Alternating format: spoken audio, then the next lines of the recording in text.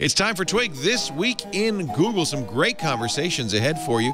We'll talk about the mess at Uber, but also how to know what's really true. Jeff and Gina and I are next on Twig. Netcasts you love. From people you trust. This is Twit. Bandwidth for This Week in Google is provided by Cachefly. C A C H E F L Y dot com. This is Twig, This Week in Google, episode 276, recorded November 19th, 2014. Don't be Uber.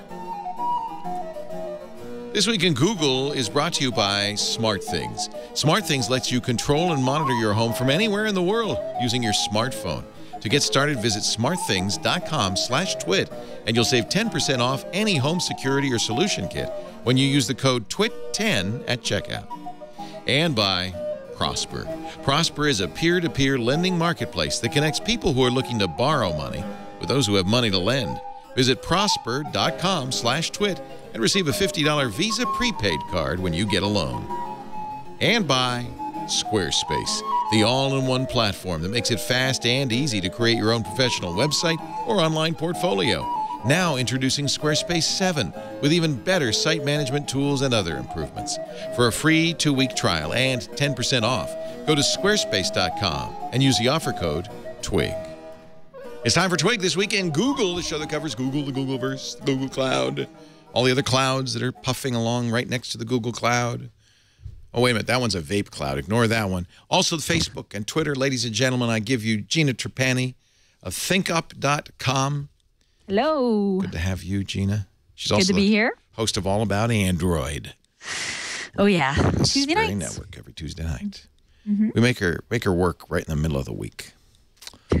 Jeff Jarvis is back home where uh, the snow, how has it come up to the windows yet, Jeff? I'm not in Buffalo, thank goodness. the East Coast is not all the same.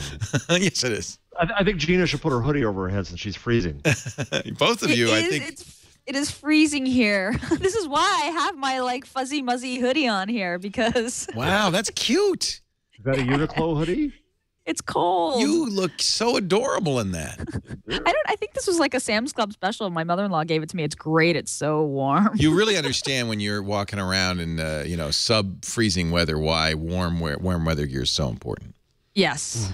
Yes, I'm I'm being re-reminded after I was kind of in denial about the winter because I moved back last winter. I was I was like, oh, this is a weird freak thing. Now I'm like, oh, we committed to this. This is going to be Oh, a seasonal crap. thing. And, Yeah, exactly. And it's really February that you really start hating it. November, this Ah. is nothing. I was like, it's not even December yet today. That's what I was saying. I was saying to a friend, it's not even December. What is this? It's wrong. Well, all right, wrong. stay inside, stay warm, be toasty. It's going to be 65 this weekend. Oh, good. Of course, I now feel like my parents talking about the weather. I know, I know, I know. Let's let's instead let's talk about Uber. Ooh. Oh, boy. Oh, At first, I wasn't gonna, but now I feel like I have to. let's let's do it. Let's do Oh, this. It's, it's phenomenal. Jesus, what a story. I of course- mean, It's kind of it's kind of depressing to me that it's only become a huge story once it affected journalists. Yeah, typical, isn't Yeah. it? It's like GamerGate. As soon as you attack Yeah. the journalist, now, now we got a story, man. So Now Uber has always been pretty aggressive, and I think in some regard, this is this is just kind of a peek inside the the startup culture, which can tend to be a, not only a boys' club but an agr- agro boys' club. You know, really uh, Obnoxious. obnoxious. Um, and you know, little bits leak through the programmer and all of that stuff, but really, and I'm not familiar with it because I don't hang out with VCs or with startups or anything. Uh, maybe Jeff, you I think you do a little bit more. Gina, you're in a startup. Um, is is this kind of aggressive culture that we're seeing here with Uber kind of typical? it's well, you know, Uber's just like the darling, you know, of the valley, and there is this whole sort of like undercurrent of like growth hacking and you know hustle and this sort of I don't know this idea that you just stop at nothing to to succeed, uh, and you know the Uberization of everything. I mean, Uber has become this weird synonym for me. I feel like it's a synonym for either like the future of technology and convenience or complete, you know, uh, uh, or, or a company that treats its its drivers um, terribly and and resorts to unethical tactics to acquire customers. I mean, it's like it's this very weird split. Um, you know, double thing, double-edged sword with with Uber. When Uber has raised more money probably than any startup in uh, current uh, Silicon Valley startup, it's a 1.5 billion dollars in uh, six rounds from 32 investors, including several hundred million dollars from Google Ventures founded by uh, Travis Kalanick and Garrett Camp. We should explain for those who don't know, although I imagine most of our audience does. It's uh, it's uh, a, a cab service in effect, a black car. Originally, it was a black car service. The thing that made it different was instead of phoning them up and saying "pick me up," uh, I'm ready to go. You'd have an app on your phone, and it was actually very a very lovely experience. The app would already have your credit card information. You'd tap it, says, say, I want to ride. You could see how far away the car was. You could see as it approached on a map. You'd see a picture of your driver. Your driver would see a picture of you and where to pick you up. You'd get in the car. You'd go where you wanted to, and then you'd get out of the car, and that'd be it. The tip and the payment all handled by Uber. So it was a very nice friction-free transaction. The early Uber cars were all kind of nice black cars. They've now, then they had Uber X, which is so, so, somewhat of a lower cost service and I, I, think they maybe even go lower than that. So there's a variety of cars that might Uber bike, yeah, Uber bike, and then uh, of course they felt uh, got a lot of heat in Washington D.C., in New York City, in Toronto. I think that Toronto's about to make Uber illegal uh, because the taxi taxi services said this is essentially an unlicensed taxi service, and you make us buy medallions and go through a huge regulatory hoops, and you're not doing that to Uber, and uh, and you know, I don't know whether it's lobbying from the taxi services or uh, the yeah, I think it is probably. But the taxi commission, you know, some it's kind of like the Airbnb problems with the hotel commissions. There, it's a new way of doing things, and and there maybe are some concerns. Uh, an Uber car hit an immigrant family in San Francisco uh, a few months ago and killed a six-year-old. There have been reports of uh, alleged reports of sexual um, attacks in Uber cars by Uber drivers. Um, but really the issues that's surfacing now is the aggressive promotion of Uber. First, a couple of months ago, we heard that Uber was going after Lyft by actually getting in Lyft cars and trying to solicit their drivers. Right. Well, uh, well, Lyft Lyft is one of their competitors, and they would have supposedly they had Uber employees calling in Lyft rides, getting the Lyft drivers to go to pick them up, and then canceling, right? Like basically taking away taking away their fares, and or getting into these cars and pitching Lyft drivers to move right. over to Uber about all the reasons why Uber was was better for them. Um, you know what's so interesting? Was, the name Uber which sounds when at the beginning it sounded like they're better, they're good, and now it's starting to sound like Deutschland über alles. It's like uh, it's, the connotations are not as good. So the latest uh, kerfuffle came uh, from a private event that uh, Uber uh, had, um, in which uh, their one of their senior vice presidents uh, for business um, said some things that were pretty appalling. Yeah, ironically, they, they fund to go after journalists. Nobody would know it. Yeah, uh, well, and we should explain this. So, so what happened uh, was this was an off-the-record event. Ed Norton, the actor, was there. Arianna Huffington was there, um, and, and this, this Michael Wolff. Nice. Yeah, it was a nice event like they, are trying to make nice. They know that they're having PR problems, right? So they set up these fancy dinners with all these heavy hitters to like make nice and clean glasses and get buddy buddy because they know that they're having PR problems, like as a company, right? So this is why they're setting up these dinners. Okay, so like that's right. just that's the irony. so this. I don't know the Waverly Inn in New York, but I'm guessing it's a pretty nice. Oh, it's hip. It's hip and nice. Yeah, yeah. Oh, yeah. So uh, they asked Michael Wolff of USA Today to go, and he in turn invited a date, Ben Smith happens to be editor in chief of BuzzFeed, to come along with him. And now, just a little moment here. Michael Wolff, just his background, is tries to be as nasty as he can be all the time. And he went to the Foursquare conference, having nothing to do with with our app Foursquare, but Foursquare from now Lehman Brothers. And it's all off the record. They make this absolutely clear. And Wolff revealed absolutely everything from the event and created a book called Twilight of the Moguls. So Wolff is no friend of off the record. Wolff invites. It is an off-the-record event, though, and he well, says Wolff well, said. But, but, but, but, the argument is, unless the journalist agrees, right. it ain't off the record. And and Ben Smith, whom I trust on this, never heard that was Right. off the record. Wolff is writing in USA Today says I had understood the Uber dinner like other such media meet and greets was off the record. I neglected, however, to tell Smith this. He says, while I might have fairly assumed Smith knew the context, this was my oversight, though surely not Uber's. And you know what? It's everybody's oversight because, as you say, nothing's off the record until it's agreed that it's off the record by both parties. So off the record doesn't mean what you think it means. Uh, I might have thought too that as my date, he would have asked if there was an understanding. Oh, Wolff's throwing uh, Smith under the bus here. Yeah, he really is. And again, this is bit, Michael yeah. Wolff, who himself has absolutely flaunted off the record rules, who, who wrote an entire book out of out of the Foursquare event, which is clearly off the record. Everyone knows it's off the record. He knew it was off the record, and now he's acting holier than thou. Yeah. BS, Michael.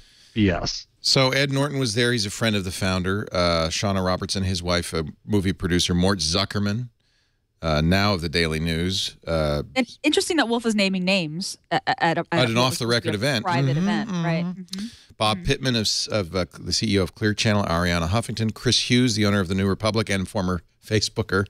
Is, Chris might even still be at Facebook. No, I think he left Facebook. He was one of the found, one of the One of the original founders, yeah. Yeah. And, uh, the Allen Republic, yeah. He says a long table about 40 feet or more. Smith was seated at the far end with Emil Michael, who is Uber's senior vice president for business. Now, Wolff says I was at the other end of the table, so I didn't hear this conversation. But apparently, so this this is actually additional detail that we haven't read before. Smith, Arianna Huffington just tweeted that she was also at the other end of the, of the table. I didn't hear anything, darling. It wa- I wasn't there. I don't know what they're talking about, darling, and I'm going to take an Uber right now. Uh, Smith. I don't know why she sounds like Zsa Zsa, but she kind of does. She never Smith. says darling. She makes a point of never saying darling. But I know, fine. I know, but she she should say But- but darling. If you're going to talk like that, you should say darling. Um, I knew her when she was Arianna Stassinopoulos. Okay, I'm just saying. Uh, Smith uh, apparently engaged Michael in a discussion of Uber's frequent bad press and came away with a set of quotes or snippets of quotes, which had Michael saying that Uber, if it wanted to, could investigate journalists, including their personal lives. As Smith represented Michael's conversation, and this was a BuzzFeed posting, Michael's Michael is the executive at Uber. Uh, Michael's angle was directed at Sarah Lacy, the uh, founder and editor of Pando Daily, and Lacy has been critical of Uber and its aggressive uh, um, Aggressive tactics, tactics it's and sexist, so forth. you know, a couple of Yeah. sexist uh, uh, promos, and yeah. I should mention uh, that in the B- BuzzFeed article, um, this is the quote. Uh, over dinner, uh, he outlined the notion of spending, quote, a million dollars, end quote, to hire four top opposition researchers and four journalists. That team could, he said, help Uber fight back against the press. They'd look into, quote, your personal lives, your families, end quote, and give the media a taste of its own medicine. Michael was particularly focused. This again is the is is Ben the BuzzFeed uh, editor in chief. Michael was particularly focused on one journalist, Sarah Lacy, the editor of uh, Pando Daily, a sometimes combative vo- voice inside the industry. Lacy, Lacy recently accused Uber of sexism and misogyny. She wrote that she was deleting her Uber app after BuzzFeed reported that Uber appeared to be working with a French escort service. She said, I don't know how many more signals we need. The company simply doesn't respect us or prioritize our safety. At dinner, Michael expressed outrage at Lacy's column and said that women are far more likely to get assaulted by taxi drivers than Uber drivers. This is this is to me the sentence that was the most outrageous. He said that he thought Yeah. Lacy should be held personally responsible for any woman who follows her lead in deleting Uber and is then sexually assaulted. He said also they could, in particular, if they went after her, prove a particular and very specific claim about her personal life. By the way, I don't know, and Ben does not report what that is, and we don't need to talk about that. I don't think that's an issue. Uh, Right. He at no point suggested that Uber has actually hired opposition researchers or plans to. He cast as something that would make sense. The company would be justified for doing. Now, Michael did not deny it. He actually issued a statement, a statement that said the remarks attributed to me at a private dinner, born out of frustration during an informal debate over what I feel is sensationalistic media coverage of the company I'm proud to work for, do not reflect my actual views and have no relation to the company's views or approach. They're wrong, no matter the circumstance, and I regret them. There was a Twitter. Uh, Kalanick had a Twitter uh, storm of about 17 tweets in which he apologized. At no point did anybody mention whether Michael would be reprimanded or punished or even fired. Um, the CEO did a 14 tweet stream saying that what he said had no representation in the company. We're very sorry. Blah blah blah. blah. This is not our company. But but but there's just been too many signals now. Well, and then there's this other issue of uh, them. The God view. The God, God view. God. Yep. So you want to talk about that? Which is yeah, I mean, so th- I mean, this is when we talk about trust and, and particularly around Google, because this is a show about Google. Like this is this is what this is what I was talking about when I said Google has root to culture, right? So so Uber has this thing called God view, purportedly, allegedly, which means that certain uh, uh, employees of the company, not drivers who are contractors, but employees of the company, particularly executives, have this live map of cars, of Uber cars, and people who are in them. And um, they can pretty much track anybody who's going somewhere at any given time. And so there was a there was a medium piece by someone whose name I didn't recognize. I think maybe he's a VC or he's someone of some importance. Um, who said that you know someone uh, that he knew also in the industry was texting him saying, "Hey, are you in a car on this street in this street?" asking him about his location. he said, "Yeah, you know, how do you, how do you know where I am?" And she said, "Well, I'm at this Uber party here in Chicago, and they've got the God view up on the, you know, or they've got this, you know, you, the view of where your car is up on the up on the wall. And you should be proud. You've been selected. You, you should yeah. be so yeah. You should be so uh, pr- you know, you should be delighted that they're Uber showing off this amazing technology where they get to watch you in real time drive around the city in a car which is like, you know, and this person said, I never gave them any permission to broadcast my location real time.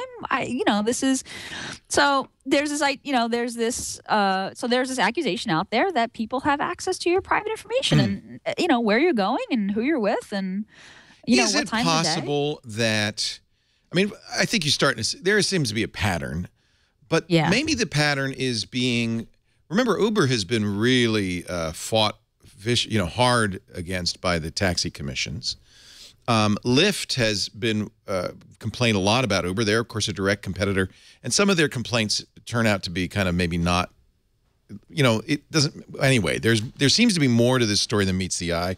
Let's not forget that uh, BuzzFeed uh, is uh, heavily uh, uh, invested in by Andreessen Horowitz, which also is a Lyft one of the major Lyft investors. It seems like there's more to this story than we're. Well, I think that's going too far. I mean, I think I think I mean, and Andreessen, somebody, somebody said that to Andreessen, and he said, "Oh, come on, really?"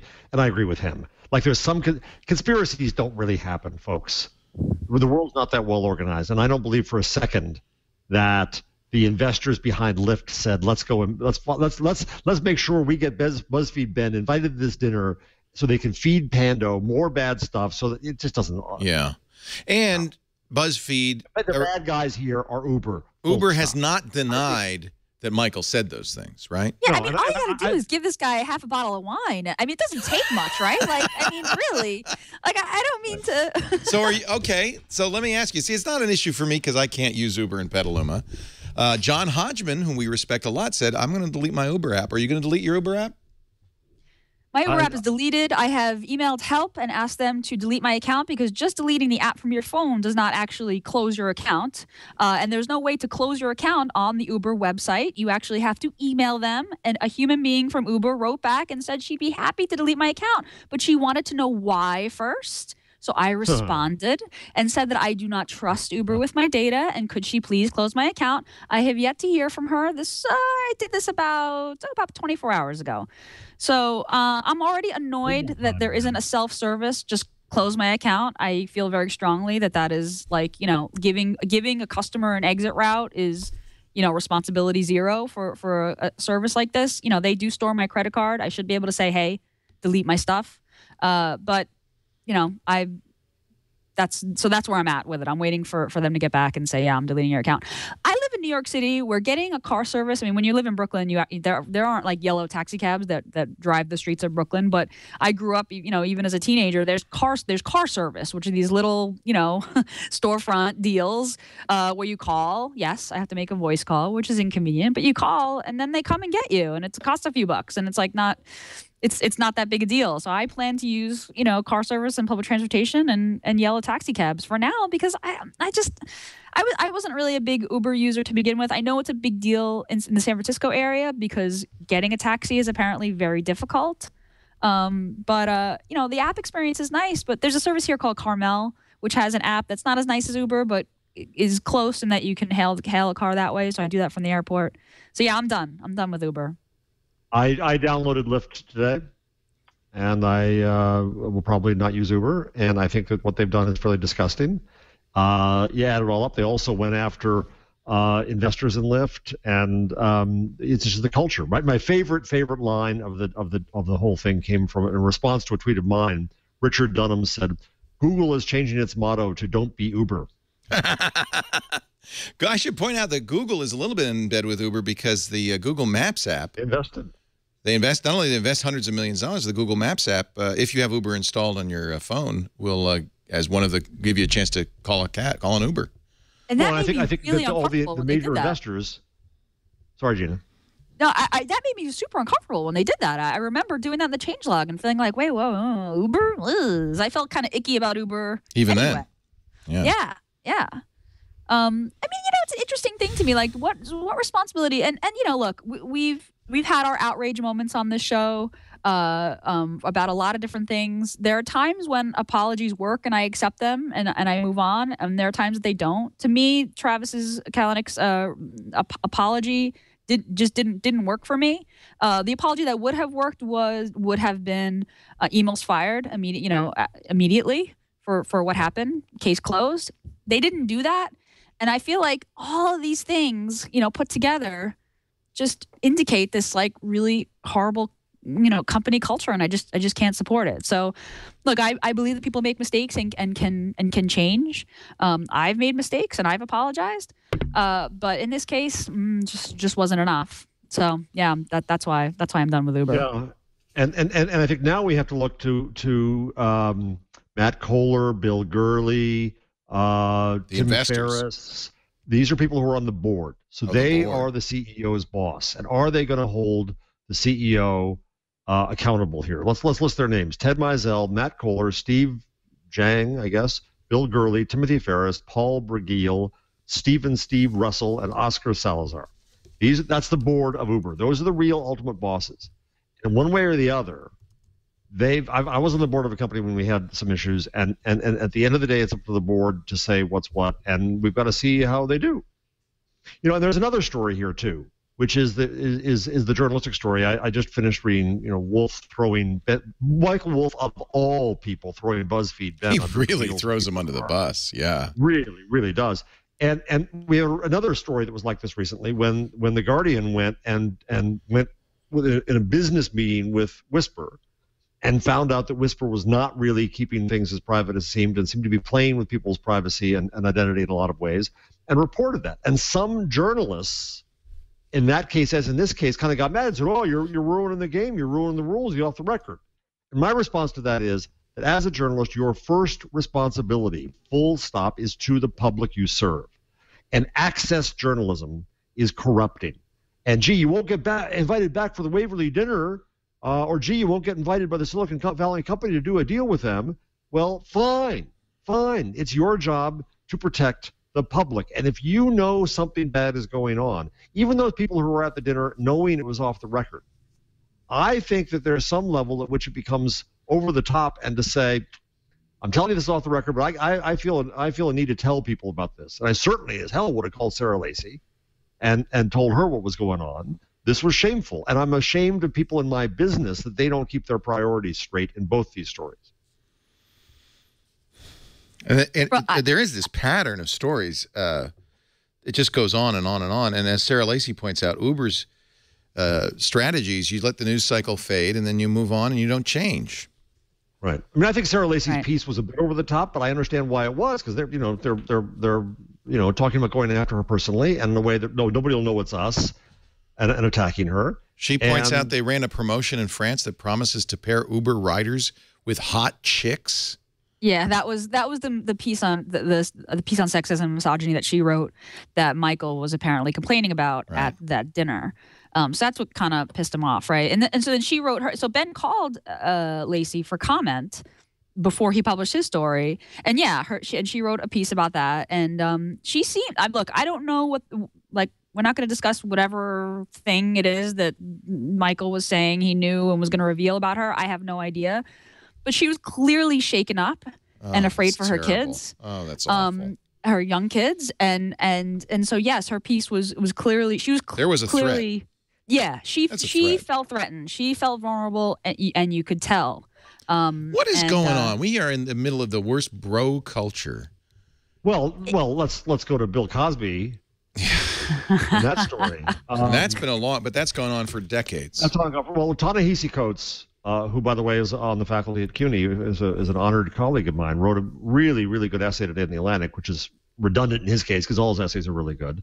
But saying that he covered Cosby, he covered, followed him for two years as he was doing kind of the shaming of of of, of lesser cultural acts back in the day, and, and and he knew the stuff was going on back then, but he chose not to deal with it because then I'd have to deal with that whole thing and and so on and so forth. Mark Whitaker wrote biography, chose not to touch it at all.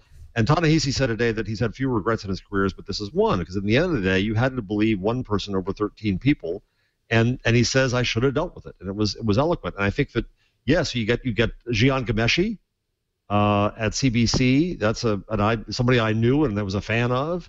Um, you get all these BBC men uh, who've been accused of doing bad things with their public position. Um, there's there's yeah, it's a it's a big bad bro problem here for us men. I It's I really sad. I thought we were making such great strides. I thought so too, Well, but it's really it's is funny. sad. I really I go back and forth about this. I, you know, on one hand, I'm like, yeah, wow, you know, like we're the, the, we're making no progress. This is terrible, right? But then it's like, well, maybe I just know about it more because of the internet. Maybe. Like, Yeah, maybe. and maybe the system's working. I mean, what did what did um oh, what was his name? Uh, the comedian that did the Hannibal was it Hannibal? The, the comedian that did the bit about Cosby. You know, he he he calls him out during his bit, which is you know, which is the thing that kind of got the momentum. But what did he say during his bid He said, "Go home and Google Cosby rape. You'll see I'm right." Yeah. Like that's how he backed up his claim, you know, that these 13 women had, or I think like 15 now, had accused him. So on one hand, when I'm my more depressed moments, I think yes, we have this huge sexism problem. Nothing is changing. This is just you know getting worse and worse. And then at other times, I think, you know what, the system's working. People are getting called out. You know, transparency. We're learning more. We're talking more. We're having this conversation. We're identifying patterns because we have you know a lot more information and a lot more conversation about it, and that's how how we make progress. So I don't know. I I, I try to be trying to be an optimist about it. This, I mean, I look, love this. his show got up for this, canceled. yeah. right? Both Yeah, shows, the did you. Netflix special and the and the NBC show.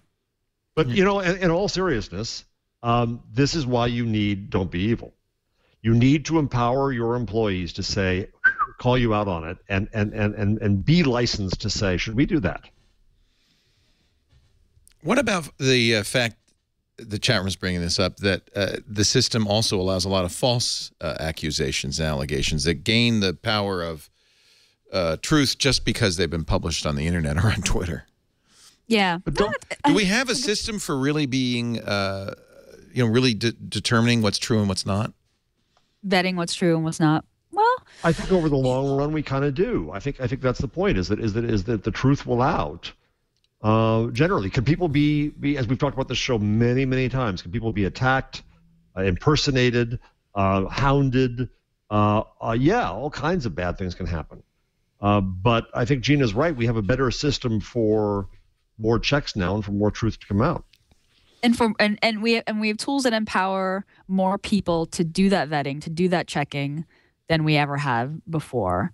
Um, and it, was kind of what I was saying a couple weeks ago. You know, technology isn't uh, you know is inherently good or evil. It just is, right? I mean, it's just it's just tools. But yeah, I mean, I ha- I have to believe that the truth will come out if people care enough. You know, eventually. I mean, look, I was outraged that there were that many cause. I had no idea that these accusations were were against Cosby until you know until this this this guy did this bit right? I'm, I'm thrilled that he that he spoke out about it and and and, used his platform and that it and that it, it gained steam and and this is what's going on. I mean look i you know i don't want to crucify anybody but this is this this is what happened. This is why. I'm, Jeff, you're doing the work of the angels because we need, I think, what we need is journalists who are really high integrity journalists who will dig, who will try to. I mean, isn't that what the originally what this whole point of maybe actually isn't what originally journalism was about, but at some point, uh, you know, uh, uh, in the modern era, journalism started to become about uh, people trying to find the objective facts, the objective truth, and giving that information to people so they could make judgments.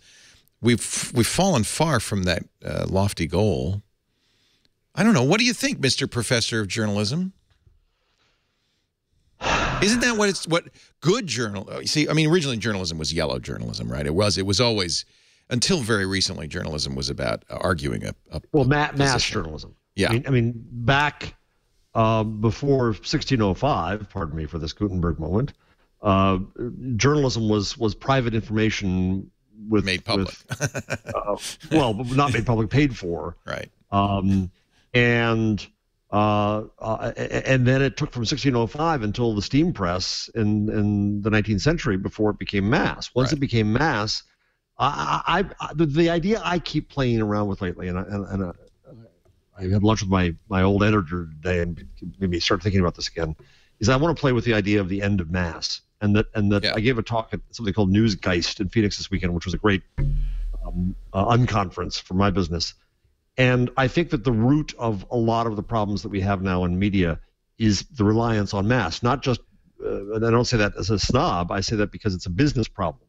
It's corrupting. You go after page views. You go after traffic. You go after a volume, and a volume-based business. Journalism as a volume-based business is inherently corrupted. Um, uh, but I think that journalism as a service-based business uh, isn't, and we see some hope there. We see uh, Chartbeat is working with the FT now to sell attention minutes, and and Tony Haile, the CEO of Chartbeat, who's somebody we ought to have on at some point, uh, uh, is quite eloquent on this, on on how attention can be a better measure of quality. That's what Medium and Ev Williams are going after. They're selling TTR, Total Time Read. Uh, they believe in that. It's not the only way to get us. You know, just time spent is not necessarily um, a great measure, but there are some efforts to to flee to quality here. And and I think that as we flee away from mass media economics, uh, we may get better. But as long as we stay with mass media economics, it just stays pure volume. Uh, in other words, promotes clickbait and uh, sensationalism. Absolutely. and uh, and uh, and what we what we would somehow like to I would somehow like to promote is a, maybe they, they used to call it investigative journalistic class of people who who feel like uh, who have kind of a calling, a higher calling to ferreting out the truth. You know, the Woodward and Bernstein. Uh, and because that's this is the problem. We don't. Uh, these allegations fly back and forth. You can get a feeling. I mean, we all have a feeling about Uber that doesn't feel good. It feels like Right. there's something wrong, but we don't really know. That's true. but do we trust the press to get it for us? Right. So so Well, so, we don't anymore. I mean, BuzzFeed Well, is I the trust press BuzzFeed now. Ben. I, I trust Ben Smith.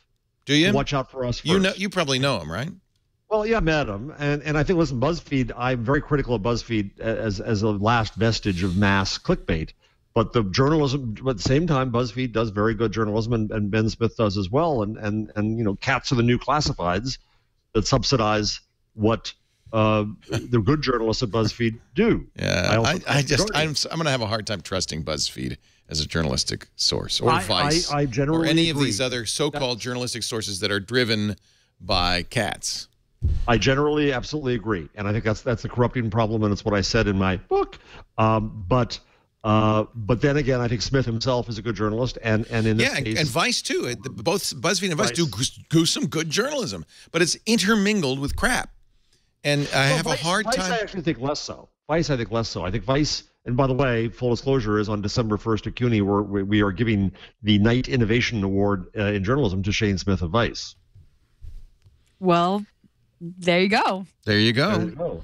I think Yeah, I think Vice is call- rein, call it maybe Tina- Vice Tina has Couple reinvented itself. You know, I think uh, Yes, Vi- it has. it is very. Yeah. It's a different. The Vice of today is very different than the Vice. The uh, Vice of today is doing some really amazing reporting and proving that young people care about their work. yeah, I mean that's Even clearly what they're doing is they're trying to bring young people to real journalist Yeah, journalistic. David Carr, who smashed them, then then did a mea culpa and said no, Vice is actually okay. Yeah. Uh, BuzzFeed, I generally agree with you, though there is some good stuff there.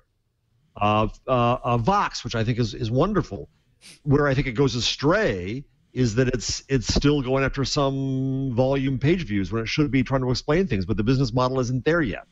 Well, isn't Uh, that kind of the basic problem? Um, that there is no money in the kind of journalism that I'm asking for? Or is there? Is there a way to do true investigative, uh, you know, high integrity journalism Oh, there is. and make There a is. living? Yeah, there is. uh, but not in the way that it was done before, where you had, you know, you had Pierre Omidyar. His first reflex was to say, "Well, I need a sports section to get audience to my investigative journalism." No, no, that's the wrong old model, and, he's, and he's not doing that now. He's trying to um, uh, figure out how to do this, and there's and and, and and we're not there in the business models yet at all. But no, I, I definitely think it's possible.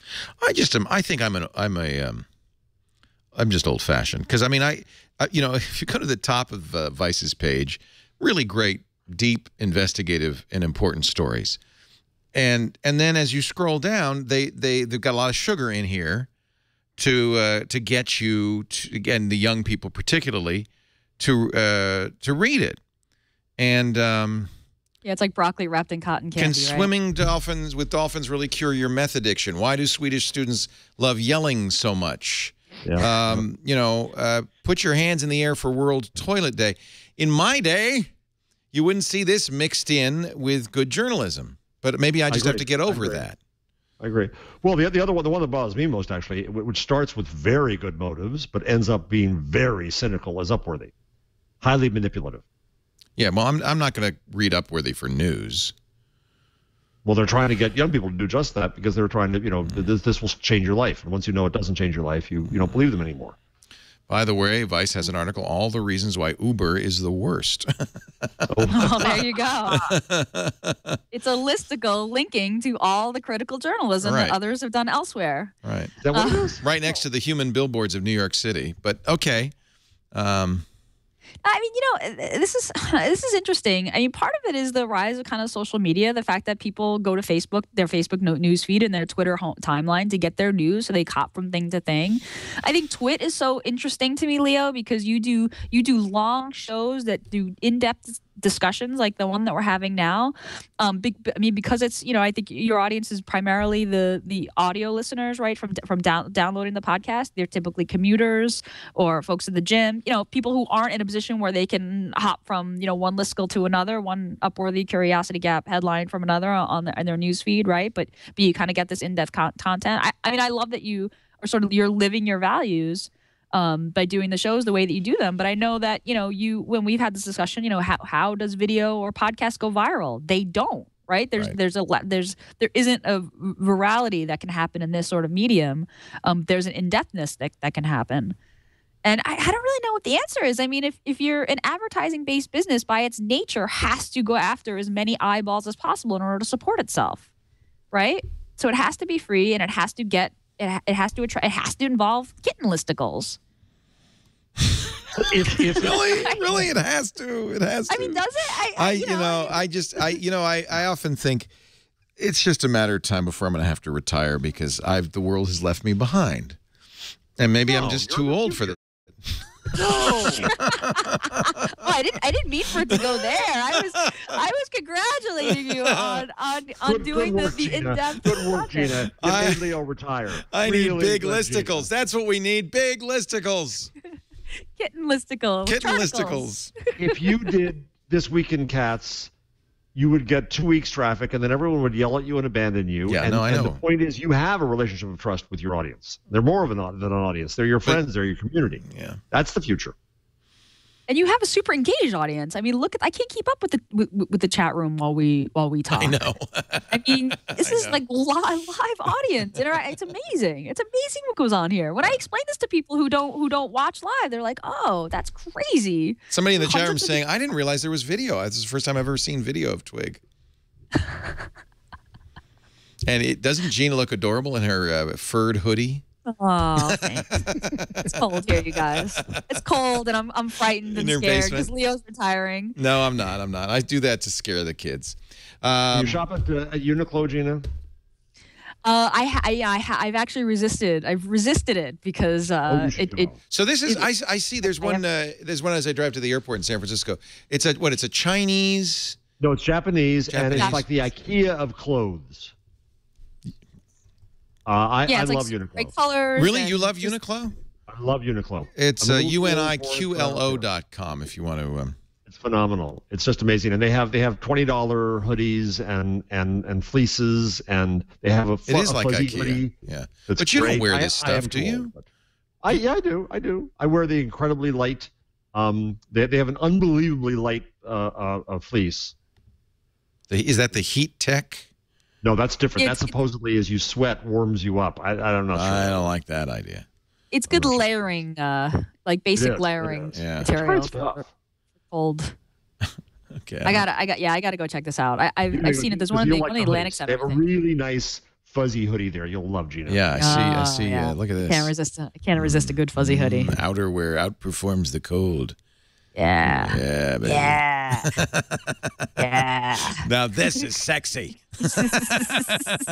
oh, stretch down jacket. Oh, Stay puffed marshmallow. Listen, whatever I it love those marshmallow jackets. I Uh, hat hair. I'll do the whole thing. Yeah. Red nose. I don't care. you don't As appreciate we- them until you're in the in the cold, and then you go, "Wow, Yeah. these are great." Yeah. So Leo, or uh, what about you and, and Uber? Uh, well, like I said, I don't. I'm not. the- I've only ridden Uber twice. It was in Paris. The second time, I was cheated by the driver, who said, oh, "I don't know. The application has crashed. I don't know how much you owe me." I said, "Well, what should I pay you?" Oh, 50 euros. I was ripped off by. So Oh. Wait, that's I the thought last. you didn't pay. Don't you just? Doesn't it just charge you? Is it supposed to just charge you? Yeah, Yeah. but the app had crashed. He said. Ah. It's He- France. You don't expect Uber to work in France, do you? In Paris. You. He snowed you. He snowed me. And what I, I what am I going to do? I'm not. I can't. Well, I'm not going to pay you. I didn't want to do Right. that, so I just gave. Right. I threw 50 euros at him and ran. In France, I can see if it was there was a language issue, which there would be for me. I could see how using an app would be a lot easier Yeah. uh, than money changing. Uber had just come to Paris. This was at Le Web. And and so we don't have Uber up here. Although uh, I think Jennifer uh, uses Uber a lot. Uh, I think there are. I know people who use Uber a lot. I guess when they go to San Francisco. Do you use it, Jason? In, in San Francisco? No, I've never used Uber. Yeah, although I will say we had uh, Phil Nickinson and Matteo Doni on All About Android a couple they- of weeks ago, they and came they up? came and Yeah. went back using Uber. They were able to get Uber uh, here in Sonoma. Yeah. You get. Well, you could. You press the button and it says, "Well, there'll be an Uber car there in an hour and a half." Hey, yeah, they waited ten minutes, and it was Really? here pretty fast. Oh, maybe it's here now. Well, I ain't. No, I'm. uh, But I don't. I don't want to take Lyft either. That looks weird. So Uh, that mustache thing. I don't want a pink mustache on my car. It's not not really my vibe. I like yellow cabs. I don't. I just like a yellow cab. That's all I want. Just a yellow cab. Although at some point they installed screens that uh, in, in yellow cabs here in, in, in, Oh, and in they New talk York. at you. And it's like, Hi, this is Mayor Michael Bloomberg, and welcome. it's And, like- yeah, yeah, and it's the worst touchscreen ever, and you have to like jab at it to turn it off a million times. That was a great episode of The Good Wife from like a season ago. I'm catching up on when when uh, uh, our De Blasio wouldn't shut up in the cab. yes, I remember that one. I remember that one. And in fact, Uber was just on the last episode without giving anything away. I know you're watching it now, but there was an Uber mention on the last uh, episode of The Good Wife, which is a fantastic, fantastic show just to, in terms of technology references. Um, but yeah, there was a moment where they were like, "Did you take a cab?" He said, "Yeah, I took an Uber," and they were like, "Give me your phone. We want to see the route you took." oh. Uh, yeah, yeah. So I was like, "Oh, The Good Wife seems to be really up on all of the latest uh, issues of privacy and so forth. Oh, it's a it's a it's a great I show. Yeah, I mean, it. there's there's a fake Google Chum Hum is the name of the search engine uh, in the in the show, and there's this ongoing case of like Chum Hum, you know, Chum you know, Hum. whatever, using being a monopoly, basically using their powers to rank results in the search engine unfairly. Oh wow. Yeah, yeah. I mean, oh, they rip case, they, they rip you know situations directly from the news. Tony Remember Wang last, has just last season was it last season season before like his last season it was the uh, the NSA snoops. Yes. Oh. Yeah. You, did you watch it, Leo? No, I've never seen it. I have, I have, I, I, I thought that I, I- I gave up on it because I, I missed like the first six episodes. I thought, well, I'll never catch up. I'm now binge watching uh, last season to this season, and then from the beginning. I'm going to watch the whole damn thing. Oh, I intentionally miss episodes because I want to binge watch everything. I don't want to. It's great. Yeah. I- yeah, I- highly, highly recommend. And one of Good the Wife. NSA snoops was is the guy who plays Jared in Silicon Valley on HBO. Yeah. I- it- Oh. it- yeah, it's, it's it's great. He is also uh, one of the voices in um, uh, Big Hero Six. Is it Jared? It's the it's the guy with the funny weird beard. Oh no, uh, Uh, Jared was the was the business manager guy, the guy that got stuck Yeah, out on the barge, Love or him. not the barge, but Love the, him. Yeah, the barge. Yeah, he's great. He's Yeah, also in uh, in that um, in the Loop, that wonderful movie based on In the Thick of It. Anyway, I'm sorry. Where are we going here? We're going to Yeah, take a break sorry. so Jeff can go answer the door, He has been told his Nexus 6 is on the truck. I keep on refreshing. It's like it's like refreshing. Do I have a new operating system? Refreshing. Do I have a new phone? And uh, thanks to Tony Wang, I am going to have a uh, a, uh, a tool of the week this week that comes from Uniqlo. Oh, How do you like that? How do you like them apples? That's a Good little later callback. on. Um, yeah, you know it's weird because Jason Howell, uh, host of All About Android and our producer today, um, was the guy who was refreshing like right and left, right and right, right left on the day that the Nexus Six went uh, online and available, and was got in in the first thirty seconds and bought one.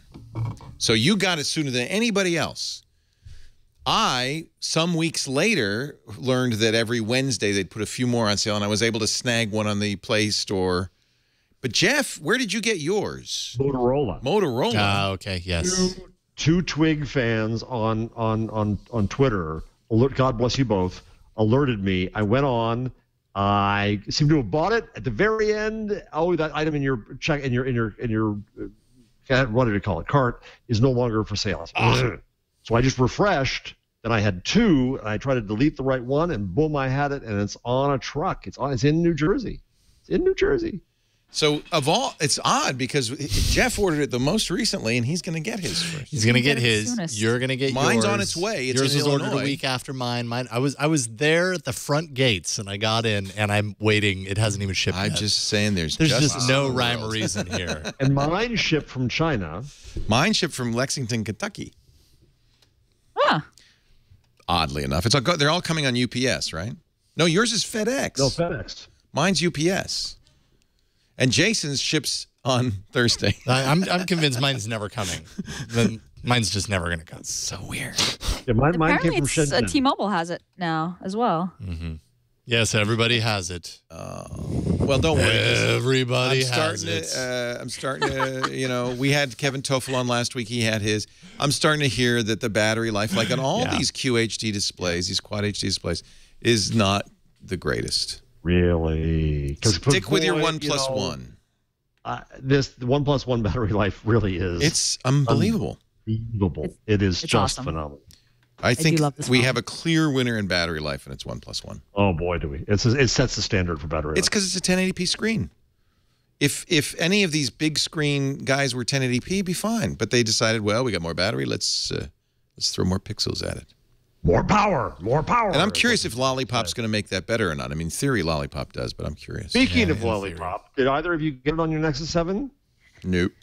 Nope. I I dug up my my Nexus 7, which is the original Nexus 7. So, and I and I just I hadn't looked at it in a while. That thing is just slow. Like it's just slow. It had a ton of updates to get through, but it's stuttery and slow. And You know what uh, I did? I put mine in my briefcase next to a magnet, Yeah. and it, it Oh. ruins the pixels. No. oh Yeah. no. And I love this thing so I know. much. I ordered another one before they go Yeah. out of stock. I have my second generation here. I brought it in, kept keeping it charged on wireless. I love Qi charging, by the way. You gotta love that. And uh, so just sitting on the on the dock there, and every once in a while I check. We we know now though, thanks to a uh, post on Reddit by a Google engineer, the story of the updates, and I will tell you the story of the updates when we come back. Why you are getting an update but you aren't, and so forth and so on. Ah. Yeah.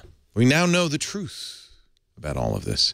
But first, a word from our friends at Smart Things. Smart Things was a wonderful Kickstarter project to create a hub uh, for your smart home that would understand everything you have in the smart home and allow you to set up a smart automated system without a lot of muss and fuss to give you home security, to uh, allow you to control things like your lights and your music.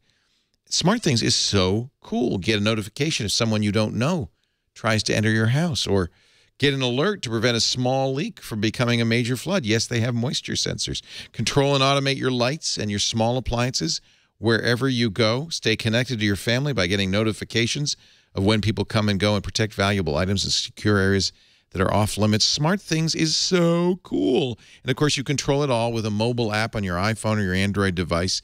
They have a huge number of sensors, but it all starts with the uh, the hub, the Smart Things hub. In fact, a great way to start is to work with the uh, kits that they offer. They have a variety of uh, kits available, uh, security kits, uh, but also kits designed to get things done, like the water detection kit I mentioned, which has the sensors that will detect moisture. You can get instant push or text notifications whenever moisture is found in a, in a particular area, a basement, a stairwell, a laundry room. You can monitor temperatures if you're worried about the pipes freezing in your cabin or your Brooklyn home. You can have uh, you can have notifications there. And this is the nicest thing about smart things. If you've got a Nest thermostat or a, a Honeywell or an Eon, it talks to those too. So you can use the you know the smart things uh, hub and the smart things units, but you can also use Dropcam, Sonos, the Philips Hue, Logitech, and of course your Nest, Nest thermostat. Furthermore, if you're a developer, you can also create new ways to use smart things and publish them for everyone else to use. It works with if, then, then that. It, I can just go on and on. It works with your Schlage locks, your Kwikset locks, your Trane heating system, your Sonos, your Foscam, your Belkin, with your Y things. Now, we've got solution kits starting at $170 for TWiT fans, home security kits starting at $350. Each of them, of course, starts with the hub and then has the devices you need to add additional capabilities. You'll be getting a smart home in less than 15 minutes, plus free shipping within the U.S. Smartthings.com slash twit. And the deal is use the offer code TWIT10 at checkout to get 10% off any home security or solution kit. TWIT10, T-W-I-T 1-0, at checkout, smartthings.com slash twit. I just, it's such a good solution. Did you get your Kickstarter um, reward yet? Uh, didn't you buy it on on on? Uh, I did. I backed. I backed the Kickstarter. It was a while ago. It was like September. It was like 2012. Oh, so it was you a couple got years ago. Yeah, Yeah. So I got my kit a long time ago, and in fact, I'm pretty sure the version that I got is, is out of date at this point than the one they're shipping. So it was a it was an early oh, prototype. it's much. It's so much improved. Yeah. It's yeah, it's awesome. I I, I love smart things from from the get go. Um, I had it hooked up. Such I think nice I told you. I, I had it hooked up to my uh, my mailbox, my postal mailbox outside. so when the, the mail got dropped in, I got a push notification on my phone, which was awesome. so awesome. Yeah, it's a great it's a great product. I or really when the uh. FedEx guy throws your Nexus 6 over the fence. exactly. Yeah, then you'll know it's here. Katie has just arrived home from school. This is so cool. So she has in her backpack the little thing that's that's a presence sensor, and Yep. you'll get a text message when your when your kids arrive back from school. That kind of thing. It's just so neat. Yeah, I had I had one on uh, at a stroller, so I knew when she was Yeah. out walk. Yeah, Uh-huh. it's really it's the coolest thing ever. I don't know what this guy's doing, but smartthings.com slash twit. Uh, yeah, so the, a good posting by a Google engineer on Reddit kind of cleared up a little bit. You know, so many people, and it's still happening now, were so anxious to get Android 5.0 Lollipop on their uh, Nexus 5, their Nexus 4, their Nexus 7, their Motorola X, that they were downloading the, you know, the jar files and trying to install them. Um, and he posted PSA do not clear data for Google Service Framework. He said, so a lot of people are doing this um, apparently, and it just screws everything up. But but furthermore, explained that here's how these rollouts work. Did I explain this last week? No. I explained it on Twit. Yeah, yeah, on Twit. I'm sorry if I'm repeating myself. I'm getting old. Um, so what what he said is one percent. So here's how it works. Um, they've got the new Lollipop Five. It has been tested. The releases are out. They've even released the the you know the the full APK or I guess it's a jar file for each of the phones. So if you really you know wanted to, you can install it, but don't. What they do first, they roll it out to one percent randomly. And he said it doesn't matter how much you press refresh. You remember we uh, were wondering last week if actually pressing refresh could screw it up. You know, asking too many times, can I have the update? He said doesn't matter. He said you're either in the on the bus or you're off the bus. If you're on the bus, you're in the one percent, you'll get it. If not, you can refresh as many times as you want. You're not going to get it, and it's not going to make it any worse because if there are no big, massive bugs, we've heard a couple, but I don't think there are any massive bugs. In the next week, and this is the next week now, I think, 25% will get it. Oh, that's a big jump. Yeah. So now 26% of all owners of Moto X's or Nexus 5s or Nexus 4s probably should have Lollipop or will get it in the next day or so. The next jump is another 25%, and then the final 25%. So it takes it's it's three or four weeks to roll out the whole thing, and there's nothing you can do. You can't force the update. You could sideload it, but it seems to me sideloading causes some issues. So Yeah, no, I, I mean, I guess I guess one percent is uh, actually quite a few users, and it makes Yeah. sense that they would stage the rollout. And honestly, you know, maybe you don't want to be in the in the one percent, the you know, the, the canary in the coal mine, that Right. the people, you know, right? Because you with software, you you really you can test and test and test. This is a lesson I have to learn over and over again. You never see, you don't see the bug, or the bug doesn't happen until actual users get it.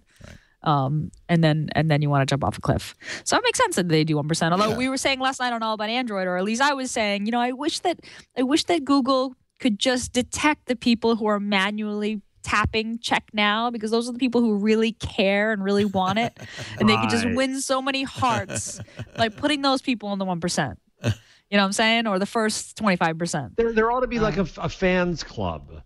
That that that Yeah. you, you know, if you're a loyal user, you get you get early early take on it. If I've bought every damn Nexus product there I have, and I have, and if you happen to have written a kiss ass book about the company, and I have, um, you know, you, you- at least at least you get the stuff early. Yeah, like some sort of opt-in. Yeah, super fans. Yeah. But it well, and this is all companies do this. You can be a super fan, you know, if you get in the beta program or whatever. But understand, you're also you're you're also you know cannon fodder. You're the first one over the hill. Yeah, that's true. Right. That's true. And, Right, uh, and maybe they don't want us, you know, they want a super folks who fan have to a big stay platform Yeah, to stay happy. to be talking about the buggy uh, release that they got. Yeah, exactly. Don't upgrade to Lollipop. It's really buggy. You know, that's that's taking a risk. This one is from Jeff Jarvis. I'm guessing. Et to Google. Yeah. Google now joins dumb TV news reports on what we've long known Thanksgiving holiday traffic. Are they going to have uh, somebody standing? What what's it called? A standouter? A stand-in? Oh, right. Stander? Stand up. Stand up. A stand up. A stand up. Somebody standing. I'm standing in front of I 5 and it's a mess. Right. They it's went like through the- all this magnificent data, and they tell us, guess what? Wednesday has a lot of traffic. Thanks, Google. But, but you got to admit, the Are a lot of people infographic, going to shop on the day after Thanksgiving? Why don't you tell me that? the infographic is well done, right? Uh, but and interestingly, Boston is Tuesday, Honolulu is Saturday, Province Providence is sa- uh, Saturday, and San Francisco is Saturday. So there are exceptions. Yeah, yeah, they're fine, fine, fine. If you must leave on Wednesday, skip the rush. The worst. This is just an infographic exercise. Yeah, that's all it is. We actually had fun uh, on Monday. If you get a chance to watch Triangulation, I interviewed Gareth Cook, who's the author of the best infographics of 2014. And there's some really good ones. And we talked about bad infographics, clickbait infographics, and all of that, but there's some really nice. It can be done well. Uh, good news for local travelers Thanksgiving Day traffic is a breeze. and They have a turkey in a car. yeah, the turkey's trying to get away from the table. Run, run! Get me out of here. Uh, it says Thanksgiving Day traffic is a breeze. It usually has the least traffic of the entire week. For traffic gurus looking to best even the lightest traffic days, make sure you stay off the road between noon and 2 on Thanksgiving Day. That's not clear. I don't understand what they're saying. Even the lightest, well, tra- tra- that is actually that's crappy. Whatever they wrote there, because I don't understand what I'm supposed to do. Stay off the road between noon and two. It's the best day for bad, for good traffic. Hmm. Let me let me read this again. Thanksgiving Day traffic is a breeze. It usually has the least traffic in the entire week. Semicolon. For the traffic gurus looking to best even the lightest traffic days, make sure you stay off the road between noon and 2 on Thanksgiving Day. So they're saying on the best day, the worst two hours are between 12 and 2, Thank you for translating. right? That's what Ah. it sounds like. See, this is the the Yes. intelligence, the intelligence that you bring to think up. Trying to parse what the hell these people are saying in 140 characters. I don't understand. My, my basically my entire full time job is trying to come up with a sentence that someone would say maybe in conversation expressing what a piece of data means, and it's not easy. Hey, are, not you're doing a deal, by the way. We should mention this. Um, what's the Oh, what- yeah. what's the website I should go to? Thank you. It's goodwebbundle.com. We're doing a uh, holiday promotion. ThinkUp got together with uh, four of our favorite sites Mlkshk, Metafilter, The Toast, and Newsblur. And we're offering something similar to Humble Bundle, not affi- not affiliated with Humble Bundle, but similar to Humble Bundle, in that you can buy a, a one year membership to all of these sites um, in one shot for $96, which sounds like a lot of money. But if you pay for the normal price outside of the bundle, it would be almost $200. So it's about 50% off. Um, and these are just a bunch of sites, you know, given, you know, given the, the Uber story and the, the sort of model of startup that's like super funded and just trying to take over the world using all these, you know, crazy tactics. I think there are still a lot of small businesses on the web that are that are run you know through donations and through subscriptions and i count my company as one of those. So this is one way to support sites like that. And hopefully you know one of these sites you've never heard of before you'll discover something good. And if you buy the bundle you get a coupon code. You can use it all five sites. And uh, if you already have a membership you can give it away to a friend. Great gift uh, for your online hero. And uh, yeah so it's goodwebbundle.com it's a one-time deal uh, year's membership to five really great sites. And uh, yeah, thanks, Leo. Thanks for letting me plug it. What's the update on Metafilter? Wasn't wasn't wasn't Matt going to retire it or something? I mean, what what happened? Yeah, you know, Met- Metafilter had um, it actually just redesigned. Look how beautiful it looks. It looks oh, amazing. So nice. It needed Yeah, this a little bit. It was it hadn't changed much in years. It did. Well, you know, Metafilter's a really interesting story of like how Google ranking really affects a business. I mean, I mean, Metafilter was running was was actually a, they were a case study for Google AdSense. Like Google Google made them a case study, and there was a page the page on Google describing how great Metafilter did in terms of you know running running Google Ads. And uh, you know, they made some changes to their algorithm. They started to um, de-rank older pages. So Ask Metafilter, for example, is a, fantastic resource. Resource, but there were threads that were old that were certainly content that was perfectly good, but they the pages were just old or hadn't been updated in a while, and they got deranked, and their revenue took a big hit. Um, so Matt had to do, uh, uh, you know, had to had to size down his staff, and uh, he did a donation uh, push earlier this year, and they got back on their feet, and they did this beautiful redesign, which you can see, and I think they even launched a new uh, TV uh, centric metafilter site. Um, but This it's doing great. it's doing well. It's on it's on stable ground right now, and um, really, yeah, fanfare. That's the that's the new that's the new metafilter site. Uh, all the metafilter sites are great. I mean, this is a site that's been around. I mean, th- th- this Matt was running metafilter on a single box, like underneath his desk, back when he was working on Blogger, like in 1999. Like this is an old school. He's always run it run it independently with a with a staff of moderators. Um, all these sites, you know, do read the comments. that you know, none of these sites uh, tolerate abusive behavior. There's fantastic conversations go on here. I, I mean, just Matt, love Matt is Metafilter. It's been Yeah, so good for so great. many It's such- years. such a great, well moderated, fairly moderated, um, and ardently moderated community. It's fantastic. So we're really happy that they're in the bundle with us, and um, they're a fantastic site to to. Uh, so you'll be basically buying a, a supporting membership, which is great.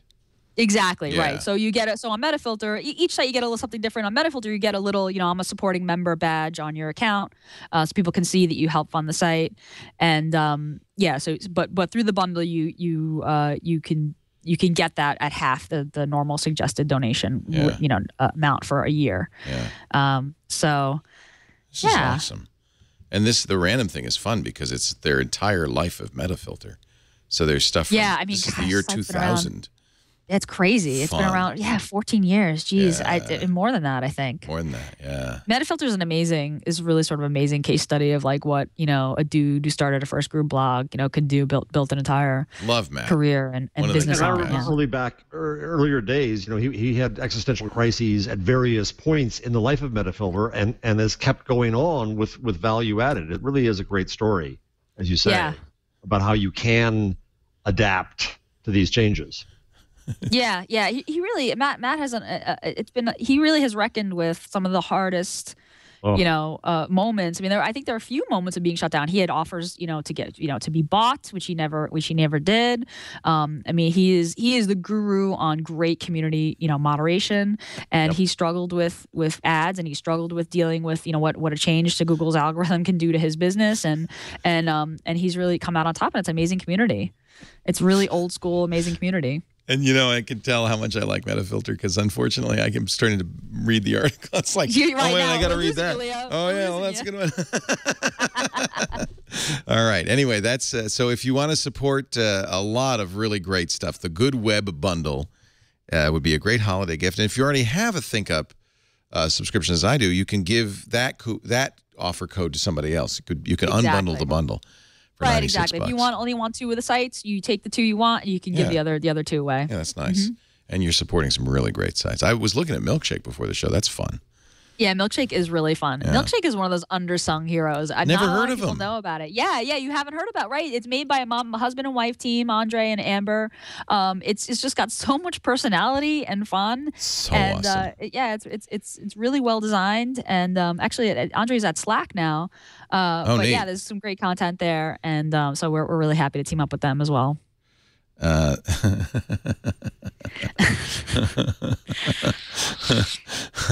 I don't know. We're losing Leo to I, Mlkshk. I, I love Mlkshk. So Mlkshk is like people put uh, images up and share them. It's kind of like Pinterest for images, but it's got a yeah, kind of wicked right. Sense of humor.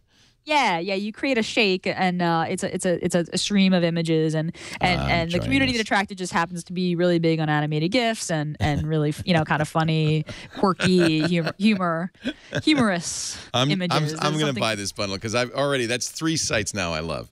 I got it. This is awesome, and I and a great site for discovery. So our show today brought to you by Prosper uh, dot com. It actually is a great. Uh, this is uh, this is Silicon Valley's answer to going into the loan the bank with a hat in hand for a loan, and you got to put on a tie or and uh, you got to look nice. And Prosper is a way to get money to borrow money without doing any of that. It, it's a peer-to-peer lending marketplace connecting people who are looking to borrow money with people who have money to lend. Such a great idea. If you go to prosper.com slash twit right now, uh, you'll be able to uh, fill out a quick application and find out exactly how much money you can get and what your rate will be. There aren't a, a, a lot of ways to borrow money when you need it. You I guess, could go to friends and family or a credit card. That's a bad idea. Or go to the bank. But now with a low fixed rate loan from prosper.com, you can pay off those high rate credit cards. You can fix up your house for the holidays. You can put it into your business or start a business. Borrow up to $35,000 in as few as five days and use the money as you need. These are fixed rate loans, multi year terms available, no collateral needed. They're personal loans. Prosper is an online marketplace connecting people who need money with those who want to invest. Don't rack up more debt on your credit cards this holiday season. Pay them off with prosper.com. Check your rate without affecting your good credit. Go to prosper.com slash twit. And for a limited time, Prosper is offering twit viewers a $50 Visa prepaid card when you get a loan. Prosper.com slash twit. That's a special site just for you. Prosper.com slash twit. Up to $35,000 in just five days, plus that $50 Visa prepaid card. It's waiting for you. Prosper.com slash twit. And now it's time for the Google Change Log. The Google Change Log. Here's Gina Trapani with the latest from Google. This is something I'm really excited about. I love Google Keep, a fantastic note taking app uh, with a fantastic widget, works on Android on the web. Well, one of the most requested features that, that they get for Keep uh, just rolled out. You can now share notes and collaborate in real time on Keep Notes. This is really awesome, you guys. If you if you need to share a grocery list with your Bro, that's exactly what I want to use this for. yes, exactly. With and your, it checks right. it off as you're in the store buying stuff. Lisa will Yes. see that I got it. Exactly, exactly. Very, very cool stuff. Oh man, Um, you know, I way, instantaneously way, way shared back in the day, I worked with a German company that was going to do that on the web. This is going back 1999, and it was always a great idea. And now it's finally done.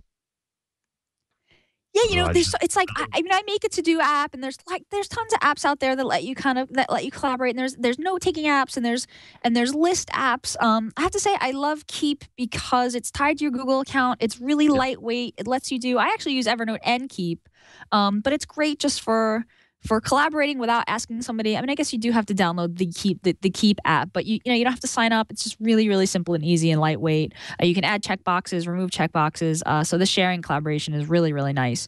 You can also filter your notes by color because you know you can, ch- you can change the notes to your color, whether or not they have images or audio, whether or not they're shared. Uh, so it's easier for you to to sort out your notes and see the ones that you're sharing with your with your with your you know business coworkers or or better half or whatever. Um, so really nice, and it's got that reminder built in. Love Keep, love Keep. I feel like Keep is one of uh, Google's most undersung pro- products actually. Right. You're right. A couple of other little nice upgrades. Um, Google's search results on mobile now let you know if the site is mobile friendly. Okay, so if you, you do search um, and you get your search results on on uh, you know on your phone on your mobile device, you'll see a little label uh, that says mobile friendly if the site that it's linking to is is mobile friendly. Looks good on your Does on a that small mean screen. it's a mobile site or it's just if mobile responsive? Would that count?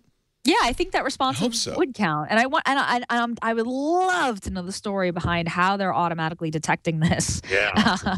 actually, um, so yeah, it doesn't appear to be just sites that have like an m, you know, mobile dot whatever Yeah. dot com. Because that's kind of n- not the modern web anymore. Nowadays, That you is in the modern web, Yeah. right? The modern web is sites that, that just that are responsive and just change the screen. It does it does not appear to be that. So, really nice way to kind of choose choose what uh, what sites you go through based on whether or not they're going to look look good on your phone. Uh, similar change, uh, weather is now in Google Maps. So I tried this out with a couple of places and got mixed results. I, I searched for London, England, I'm like in the screenshot there, and I didn't see the weather. But then I searched for Brooklyn, New York, and I did get the weather. Anyway, it's a little Google Now style card uh, right below the place you search for that'll tell you what the Oh, weather that's is nice. There. So I can look at places in California and be jealous of how sunny and gorgeous it is there while I while I shiver here in, in Brooklyn. Uh, I think it was last week that I talked about, or two weeks ago, that I talked about how you, how Google Search on mobile now has you. You can flip a coin, say, "Okay, Google, flip a coin." I'll flip a coin for you. There's a couple of other ones uh, there. I, it didn't work, I think, when we tried it live on the show because we hadn't gotten the, the update yet. It does work for me now, Leo. Probably still does for you. Does for you as well. Oh, good. There's also roll a die.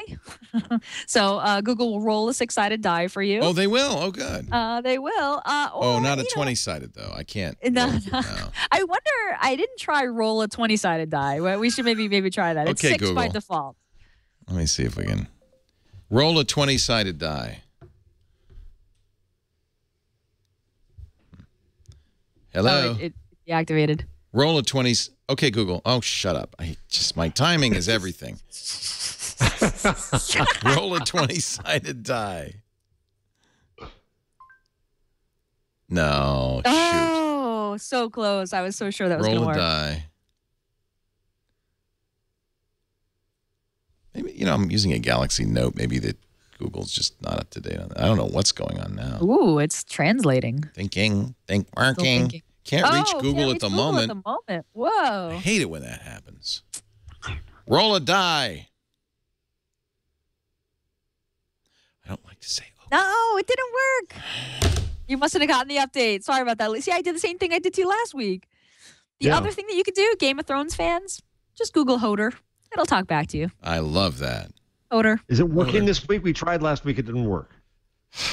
It, it did. It worked for me this time around. Help me, Obi Wan Kenobi. Wha- Oh, see now my watch is listening.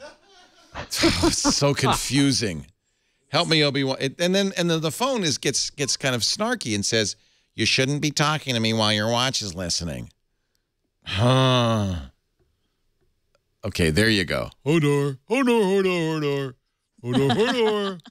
Love Hodor. And then the Yeah. Hodor. Anyway, so I, you know, I'm a sucker for these Easter eggs. These are ways to impre- impress uh, your friends and family at Thanksgiving, folks. So there you go. Google tricks. Oh, no, Google no, tricks I'm- for Turkey who- Day. Who's Hodor? What's Who- Hodor? what? What are you talking about, Hodor? Ah, that, that's all I got. And that's the Google change log. That's gonna, you know, I think that the that Hodor thing, people aren't gonna know what that means in a few years. Or maybe- yeah, that- that's it's probably a fleeting. Uh, Yeah. Do they still have the Klingon? I think they probably still have Google and Klingon. And then that's, that's another one. That's just kind of a nerd, nerdy fun. Yeah, yeah. Hodor, for those who don't know, is a character in Game of Thrones that can say but one thing, and that thing is Hodor. It's also Yeah, his they should- name. They should do it for Groot. Groot, same thing. I am Groot. I am Groot. That's all he can say. But he says it in such expressive way, you know what he's talking about. By the way, Ingress is two years old. Whoa, time flies. I know. Remember, we were all like, I want to get an invite. I want to play Ingress. Several of our staffers play Ingress and, and log miles, miles playing the thing. It's crazy. In fact, here's the infographic. Hypothesis Google GPS based game, cracking the code on healthier lifestyle, urban exploration and discovery. 200 plus countries, 64 million resonators deployed. That's part of the game is deploying resonators. 178 million portals visited. That's are the portals uh, all geographic locations? They must be, right? 52,000 event attendance, 127 million kilometers walked. Ingress, as you play it, logs your distance traveled. So that's pretty awesome. Pretty awesome. Yeah, that's that is pretty great. Good for them. Oh, I get it. 3 million portals created, 178 million visited. I'm even more um, overwhelmed by the thought of playing Ingress now than I was two years ago when it was It's- introduced. it seems like a, a world that I just don't Yeah. know that I'm willing to commit to. That's what happens, you know. If you got in at the beginning, Yeah. It wouldn't be so. But, you know, Jeff Needles plays it and he walks miles. Padre. Padre plays it. It's really kind of uh, we- we the, at the whole time we when we first saw this we thought we surmised it was some sort of Google plan to gather location information. In fact, I think it was a Google plan to get everybody walking. Love it. Or so they want us to think. Yeah, who knows what they're up to. What was the net effect of the Niantic project? We had crossed a threshold. Real security could be at risk. Ingress is not a Encrypting the data game. was the mistake. It light This is not you're psychosis or some cognitive break, but an actual. So Niantic Labs, which created this, is inside Google, right? Mm-hmm. Is this 20% project or is this an actual? What is, is this a business? Not business? only attracts people, but attracts events. I don't know what's going on with my sound. Magnus is to monitor the effects of mind hacking. Obviously, this will be done with the highest of security. To make It's sure really a neat idea. not Contaminate or threaten. It is. I found it a little too all-consuming to play, but It is all consuming. people people love it. Um, I just I got places to go. I don't. I got I, you know like walk, walking You got a around. like, life. I I just couldn't. It, it wasn't it wasn't my thing, but I totally get it, and I and I love that people love it. And If and I when, you know, lived in a first launched, they city like you do, I would really be more likely to use it. The problem Yeah, is, and in fact, I should revisit it now that I'm here in Brooklyn Yeah. because I found that being in San Diego, which is not not nearly the sort of or the area that I was in, is not nearly as walkable as here. Uh, it was it was kind of it was not easy to play.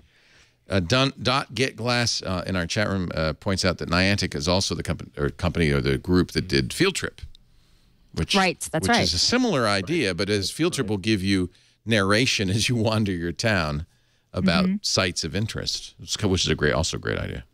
Yeah, I had to turn off Field Trip in New York because it, it buzzed so much. Yeah. I mean, you know, every other block was some something something had been filmed or was some sort of historical. Yeah, there's about five in Petaluma that kept coming up. Got Leo kind of Laporte's here. Leo Laporte's there. Yeah, Leo no, no. Slept here. It- did you know that uh, Finding the Abbotts was shot here in uh, 1987? Relative Wave. Um, they do a Mac app called Form, an interaction design and prototyping app. Was just acquired by Google. It's an $80 app design tool, and Google is now going to give it away. Th- That's pretty uh, very interesting uh, news. I haven't What? I haven't used Form. It's for designers and developers. It doesn't make an app, but it lets you design an app. Does that make sense?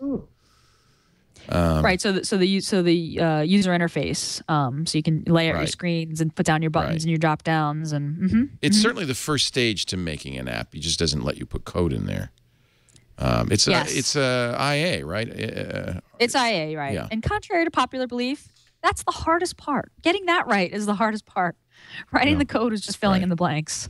we're doing it right now for our new uh, the, the new Twit website, um, and it Oh, is yeah, it's fascinating. You're, so you're doing you're doing all JavaScript APIs, yeah, and Node, and so the front the front end's going to be like a client to the to, that consumes the, the JSON. It sounds amazing. oh, is it? Oh, no, no, it's true. Leah. No, it just makes me cry to think of it. Um, yeah, so what we're doing, we are Drupal right now. If you go to twit.tv, it's a Drupal website. Uh, we are not abandoning Drupal. What we're going to do is what they call headless Drupal. So the Drupal will maintain a MySQL database with all the information about shows and hosts and everything else. But instead of being responsible for display on the screen as a traditional Drupal site is, Drupal um, is a really robust, nice content management system, but its displays don't look super up to date. It's a lot of work to get it to look really cool and neat. So the company that we're working with in uh, Austin, they're called Four Kitchens. They suggested, and they've done this for a couple of other companies. The, the Tonight Show uh, website has done this way for uh, NBC. It's headless Drupal, so they still use Drupal, but Drupal is now an API, and one of the consumers, but not the only consumer of the API, is a website that's written in Node.js. So uh, yeah, just as you said, the, the website is actually just a JavaScript entity that is doing calls to the API, saying, okay, well, what's the, what's this? What shows? What's the name of the show? What's the picture? What's the video? Whatever, and putting it up on the website. So it's kind of I a- approve. I approve too. It feels modern. idea. It feels Yeah, very yeah, modern.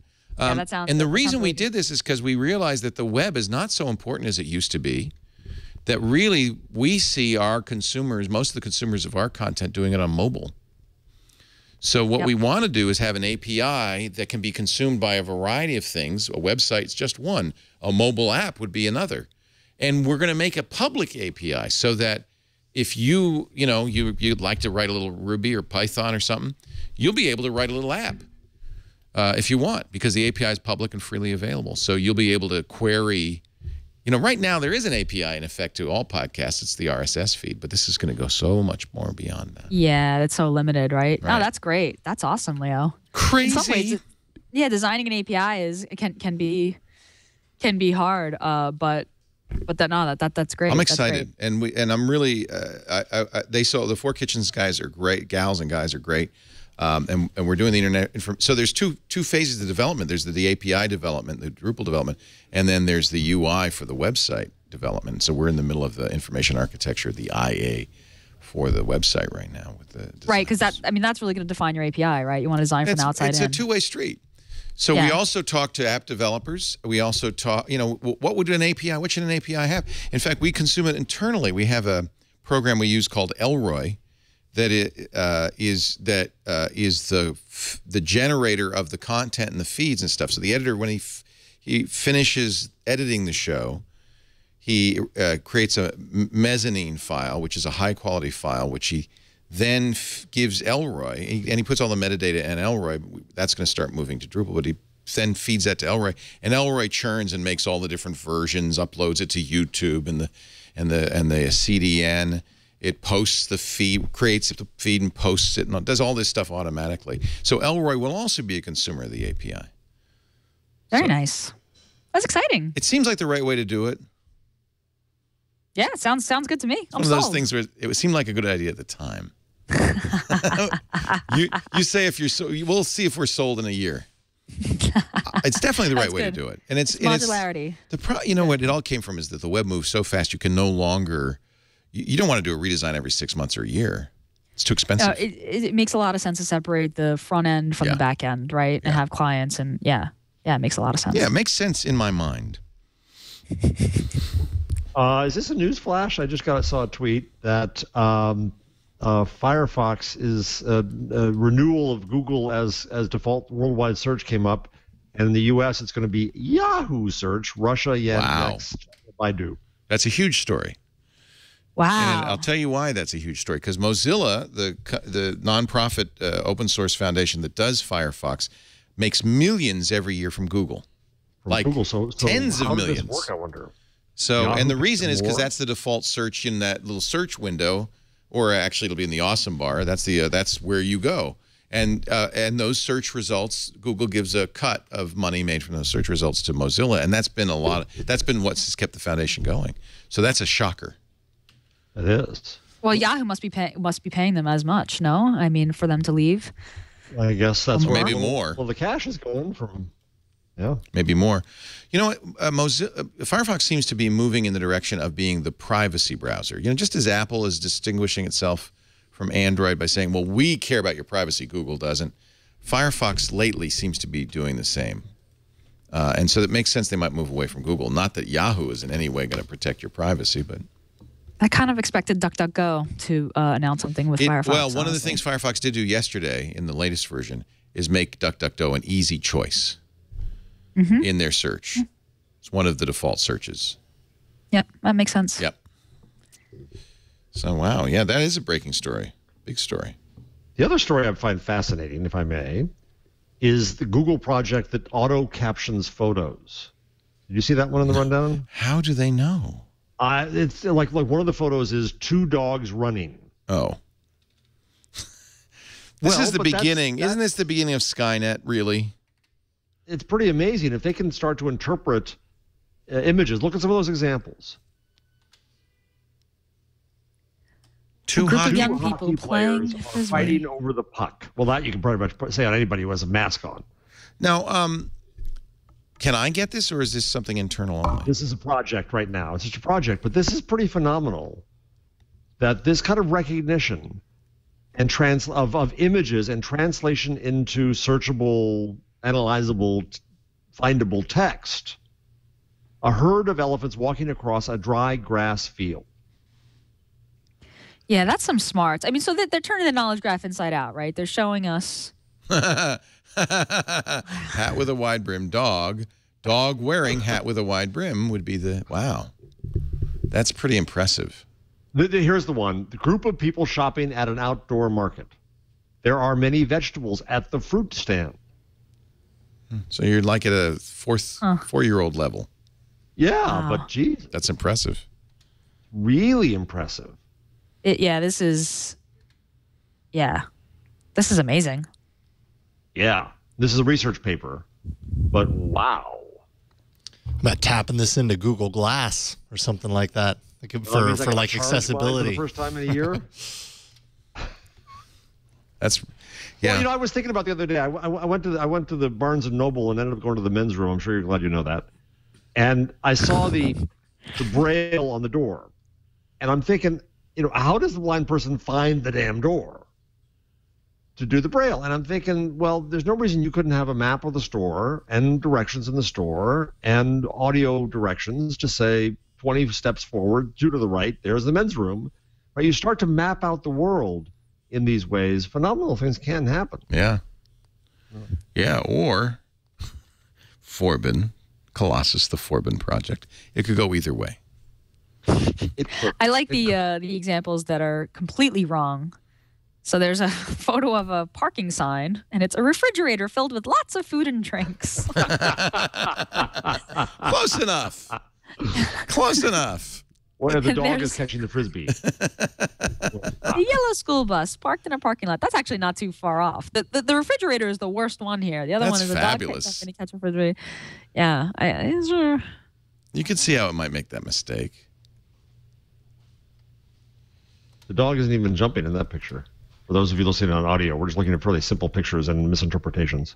but it's still phenomenal. it is. That's amazing. I'm going to download this. I can be an actress. I can be a computer engineer for my Kindle right now.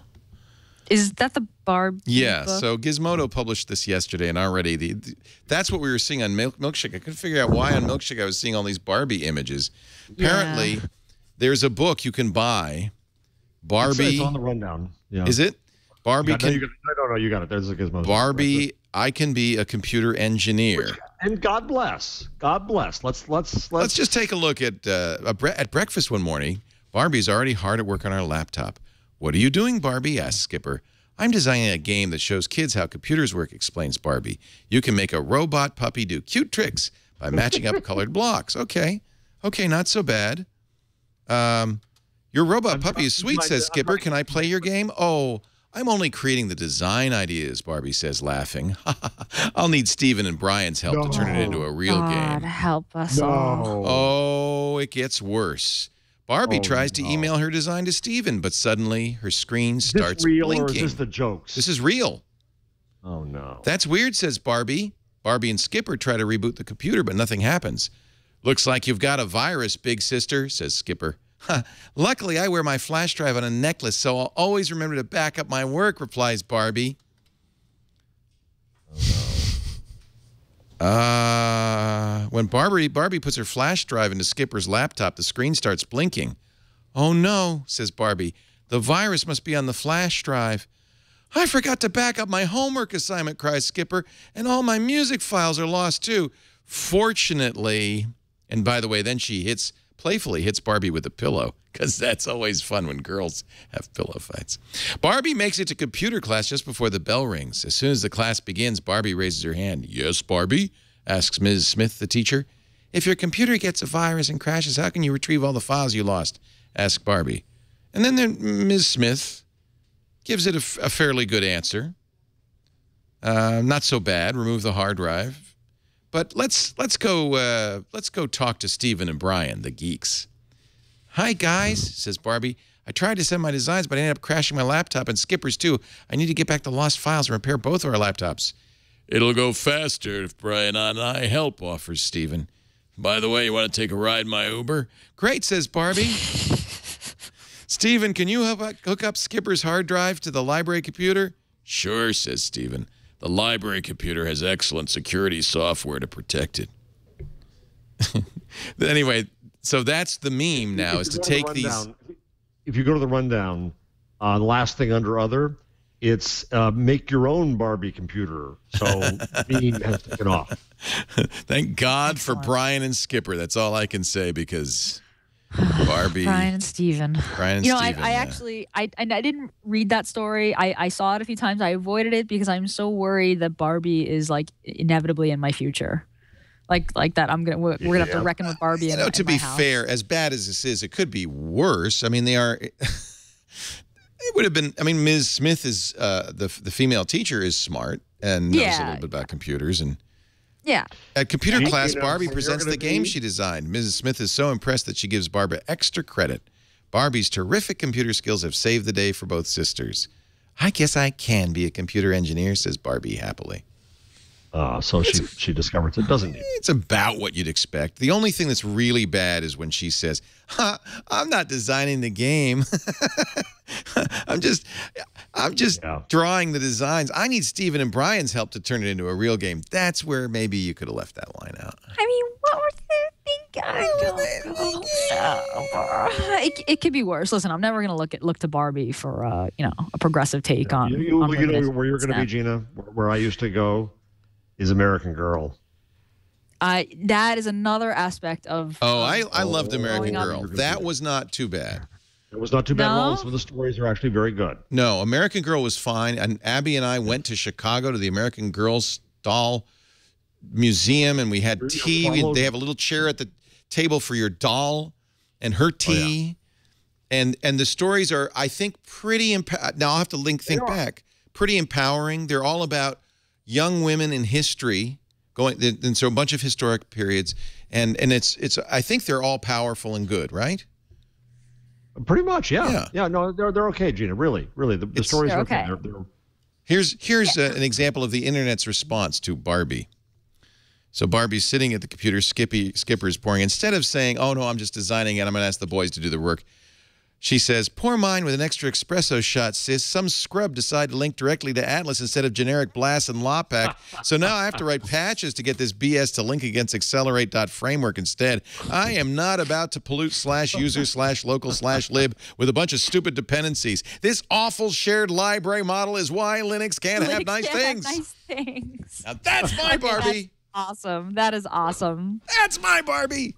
That's what I'm gonna do with that. Uh, in these situations, I'm gonna we're gonna rewrite the story. Yeah, just- I'm gonna say, all right, let's you take the go. panels and ha- hack it. How you just get to do that because she can't read yet. Yeah. So you just read it to her this way.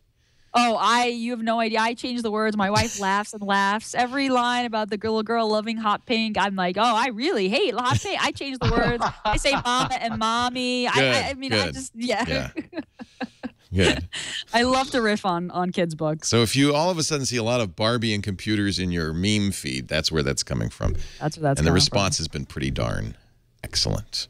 I'm gonna have her publish her own books. That's what I'm. There you go. do. Yeah. Give her a copy of Vellum. Let her let her have at it. Get nuts. The Oral History of the Poop Emoji by Fast Company. Nice reading. Did you put this in here? No, I did not. I wouldn't do that. Sorry about that, Leo. This is this is important journalism. Yeah, yeah. I It said the word Google, and I was like, okay. There's a Google story. Yeah, there we go. oh, Uh, the Pumoji. Poomoji. It's good. It's good for Actually, it's a laugh. it's a history of emojis and uh, Yeah. et cetera, et cetera. If you go up three, the compilation of videos about the internet from the 80s and 90s. Oh yeah, we've played some of those on our show. Okay, they're great. Yeah, They're all right. hysterical. Um, and in fact, I'm guilty of I'm guilty for some of these because I, of course, did a PBS Yes. show called "The Internet!" exclamation mark, which I try to explain. The, the other good video is the. I don't know if this is. These are all from Andy Baio. This is Andy Baio's channel on the. Andy Baio's. Yes, it's, it's a great, great list. I want to see Steve Allen and Jayne Meadows computer video from 1984. What the what? This is the VHS era internet. Don't you love the graphics? Computability, starring Steve Allen, which most of our audience never heard of, and Jayne Meadows. Index. Computability home cassette has been indexed with a color code for your convenience. The introduction Oh, I got to jump ahead a little bit. Let's just see. Let's just see some hacker. Ooh. enthusiast who eats, drinks, and sleeps computers. Now, a hacker would definitely own a modem. This is a device that changes the electronic impulses in the computer into sounds that can be carried over a telephone line. Very useful for communicating with other computers, data banks, information services, etc. As you'll see. Tape drives. Tape drives are much slower than the disk type because they store the data sequentially. I love like her music. faux British There are 200 accent. Other terms, most of which you'll never need. You'll pick up a lot of them the more you work with your Kids actresses in the uh, 30s and 40s often affected British accents, even though they were from the Bronx. English. Because learning a lot of new words can be And what's with the hair? first. But I guarantee in a few weeks you'll be using these terms as easily as counting from one to ten. I have no idea what any of them mean, but I'm reading the teleprompter Yeah. well. But you know what? I have to say, I love Steve Allen and Jayne Meadows, so I'm going to watch this. Anyway, why don't we switch on Look at his hair. I think his up hair's the higher than plug in a hers. and see what comes up on the old CRT. This is just what he's like at home. Yes, that was the early we're J-Lo. going to show you some Yeah. multitude of things a computer of reasonable Steve Allen invented the Tonight Show practically. Steve- Many of the jokes that you see people like uh, Letterman and even Fallon do now were started by Steve Allen. All right, let's uh, do a commercial. Cut- Unless you see one more story, if you find something you want, uh, the poop emoji grabbed me. I thought it might. Yeah. I thought it might. Yeah. Uh, this is good news. We talked about this on Security Now. WhatsApp is going to add end-to-end encryption from the open source text secure messaging system. That's from Open Whisper Systems. That is a really strong encryption, strong solution. Of course, as soon as it's within WhatsApp, maybe you don't know exactly how they implement it, but I think this is really great news. And it shows that Facebook, I think Facebook's kind of thinking, along with these other big companies, Google and, and Apple and Microsoft, how can we how can we get out from under the NSA? And let's And- not forget that the uh, the bill to restrict the NSA um, was defeated yesterday. Failed. So Yeah.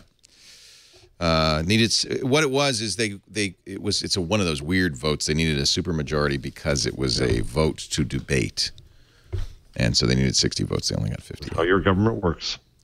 or not. That's the case, maybe. Uh, all right, let's uh, let's uh, wrap this up. Uh, I think we got I think we got all the big the big stories in here. Uh, and we're going to get your uh, tip and number and tool of the week in just a minute. But first, a word from Squarespace. That's my tip of the week. Get your website, hie thee over to squarespace.com, the best website hosting and content management system all in one. We were talking about Google and the search results uh, letting you know whether a site is mobile friendly. All Squarespace sites are automatically mobile friendly because their templates are all mobile responsive. That means the design looks great no matter what size screen. You don't even have to think about it. Start with 25, actually more. They, they keep adding new templates, beautiful templates. Many of them designed for specific categories like musicians or artists or architects or chefs. Um, that gives you a great starting point. The band uh, template, Horizon, for instance, has a tour dates page, a music player, uh, and a merchandise store. In fact, all the Squarespace templates are e-commerce enabled, which is nice. Uh, you, you, even if you just uh, you know want to do a wedding register, all cash wedding registry, or uh, donations for a school, you know, library. Squarespace 7 is new and it really adds some nice features, including the ability to live edit on a single screen so you don't have to go back and forth between preview and site manager. You can even preview designs in device mode, so you'll see how your design will look on a tablet or a mobile device. You get instant access to professional stock photography from Getty, instant branded email setup with Google Apps. And the new developer platform is so sweet. If you if you are a guru of web design, if you're a JavaScript or CSS or HTML user, you'll love the dev platform with the color-coded syntax and all. Easy to use, but if you need help, 24/7 support from their offices, live chat and email 24/7 plus self-help articles, video workshops, and their newly redesigned help portal. It's really great. And all this, $8 a month, and that includes a free domain name when you sign up for a year. But better than that, if you just visit squarespace.com and click the Get Started button, you can just set up a site right now. Play with all the tools, even import your existing content. And you'll see how easy it is to change the template without changing the content. It's just, it's exactly modern, state-of-the-art web design and hosting. You're going to love it. Start that free two-week trial. You don't need to give them a credit card. If you decide to buy, all I ask is use our offer code TWIG, T-W-I-G, and uh, that way you get 10% off. And you tell them you heard it on This Week in Google. If you are an existing Squarespace 7 customer, by the way, I'm sorry, if you're a Squarespace 6 customer, you can turn on 7 if you go to the uh, Settings tab and click Activate. That way you'll get all the new features. Squarespace.com. Click the Get Started button. Use the offer code TWIG to save 10%. We thank them so much. They have been long-term supporters of uh, this show and uh, all of our network, and we're happy to say we'll be back with us as um, almost all of our sponsors will in 2015. We're starting to sign up people for next year. Lots of interest. Glad to say. Let us get your tip of the week, Gina Trapani. So I must get asked a couple of times a week. It feels like uh, for advice from listeners from, from the shows or or just online in general. You know, I want to learn how to program. Where should I start? What languages should I use? You know, where do I start? And and that's a really hard thing to hard question to answer, especially in a tweet. Uh, but I suspect that a lot of young people, especially young people, but lots of people want a job at Google. Um, and Google has actually, Google for Education anyway, has published a list of uh, a guide for technical development, a suggested list of courses and subjects for people, for aspiring software engineers to teach themselves. This doesn't, of course, guarantee a job at Google, um, but these are really good uh, ac- recommendations. Um, academic recommendations and non-academic recommendations. So if you're a student in school and you want to teach yourself or or not, um, some really good stuff here. It, uh, they're all links to third-party courses. Uh, some on Coursera, some from the various universities uh, on you know what Google thinks is worth is worth uh, learning. So you got your introduction to computer science course, programming in at least one object-oriented programming language. This is pretty. This is skewed very Google. So Google uses Java and Python primarily. Uh, so they of course recommend learning C++, Java, or Python. Then, of course, all the languages of the web JavaScript, CSS, HTML. But some really, really great stuff here on debugging and testing and artificial intelligence and building compilers and cryptography awesome resource here. So if you're really interested in learning uh, and becoming a, pro- a programmer and or becoming a, a, software engineer or or you know starting a new career in that, I think this is actually a really good really good place to start. Uh, it's Google's Guide for Technical Development. I, am sure that if you if you Google that, it'll be the first thing that comes up. That's neat. Yeah, yeah, I thought it was a helpful helpful way. I mean, there's so many resources out there to teach yourself. Um, you know, some some you know sponsors of these shows and and Codecademy and, and lots of different lots of different things. It's it's hard to know where to start, and I feel like this is a good a good uh, starting point. Absolutely, absolutely. Jeff, your number of the week. Um, well, I think I'll take this one. Uh, Flurry, owned by Yahoo, has done an analysis to show that time spent on mobile devices now exceeds time spent on television. Wow. Mobile is the first screen. That's a pretty big deal. Wow. So how much in how many hours a day? Two hours and fifty-seven minutes a day versus two hours and forty-eight minutes daily uh, on TV, according to the wow. U.S. Department uh, Bureau of Labor Statistics, or or huh. on labor statistics, I guess in this case. Um, Bureau of Labor yeah. Statistics does measures time on TV and mobile. Interesting. With so many people unemployed these days, it's really important to know. I, I, love this. So, so if you, if you click on the link to the to the BLS, watching TV two point hours a day, relaxing and thinking 18 minutes a day. Oh, there you go. That's the problem. We only think along with relax 18 minutes a day. There's the problem. How do you even measure that? Who knows how, how much time do I spend thinking? I think they don't mean thinking. I think they mean on the can. but that's just a thought. Uh, reading 19 minutes a day. Oh. But if you're your computer, you're reading. Right. Yeah. Right. That's a so good point. Reading paper is separate than reading on the screen? apparently. Hmm. You know, It's not real reading, Gina. that's an interesting point, though. we probably now read more than ever before, thanks Oh to the yeah, I think so. No doubt. No doubt. I read a lot of articles, a lot of stuff online. I read probably a magazine's worth every day. I'd opt to read a user interface of an app before talk to an actual human any day. Yeah, come to think of it. Well, here's one more app that'll keep you on your phone. We were talking about Uniqlo. Tony Wang messaged me and said, My favorite Uniqlo uh, product is their Wake Me app. Let me show you uh, the website. This You're is kidding me. Yeah, look at this. It's Uniqlo Wake Up. I think the uh, app is uniqlo.com slash wake up. And it wakes you up with music appropriate to the day's weather. On Friday, today is a This is very Japanese. Super Japanese. Yeah. In a good, good way. morning. All right, I I would got to set this up. Phone and throw it out the window. Uh, good morning, Jeff. Today is a Uniqlo day. They have other apps, by the way. You can design a Uniqlo T-shirt on uh, your phone and whatever. This is for iOS and Android. Uniqlo Wake Up, it's called. Let me set it up because I just downloaded it for the. Oh, network error. I'm having trouble with this phone. It seems this Which is a is Galaxy Note 4, and it seems to be confused about the network, the Wi-Fi. Wow, I see a network here. I don't understand. Maybe, maybe it's. Uh, maybe I'll turn off the. I'll go to the mobile network. Maybe that'll make it work better. Uniqlo Wake Up. Hello. Wake up with music that changes with the weather. Share the start of your day. Should I have it in English, Mandarin, or none? I'm going to have English, Fahrenheit. I don't think I'll share this with Renren or Weibo. Maybe Facebook or Twitter. You can tell it's a Chinese uh, app. And uh, now I guess it's going to uh, get the weather forecast. How interesting. The page brings you the latest Uniqlo wake up news. Apparently, there is none. It's got a little clock. I could set the alarm. Should set an alarm. Uh, oh, I have to do this up here. Set an alarm for now. Yeah, there you go. World time. It's starting to it's starting to wake me up. Uh,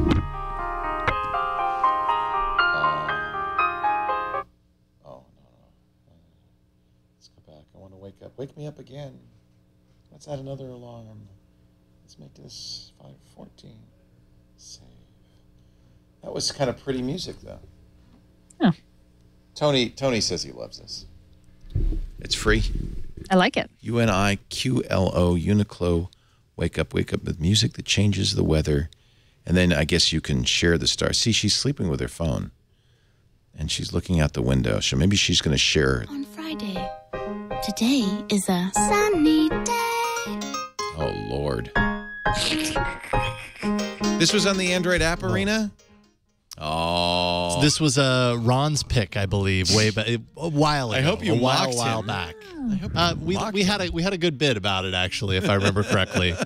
How could you not? Sunny day. Oh, oh. Hello. It's 3:14 p.m. on Wednesday. Today is a cloudy day. Jesus, I would shoot. Hello. It's going to keep going. 14 p.m. on Wednesday. Today is a cloudy day. Makes you want to just use the poop emoji, doesn't it? All right. All right. There you go. Tony Wang's tool of Thanks the so much, Tony. Tony, job, are you are you wearing um A Uniqlo shirt? Yeah, I bet he is. I bet he is. Hey, Jeff, did your uh, did anything come uh, while we were uh, doing the show?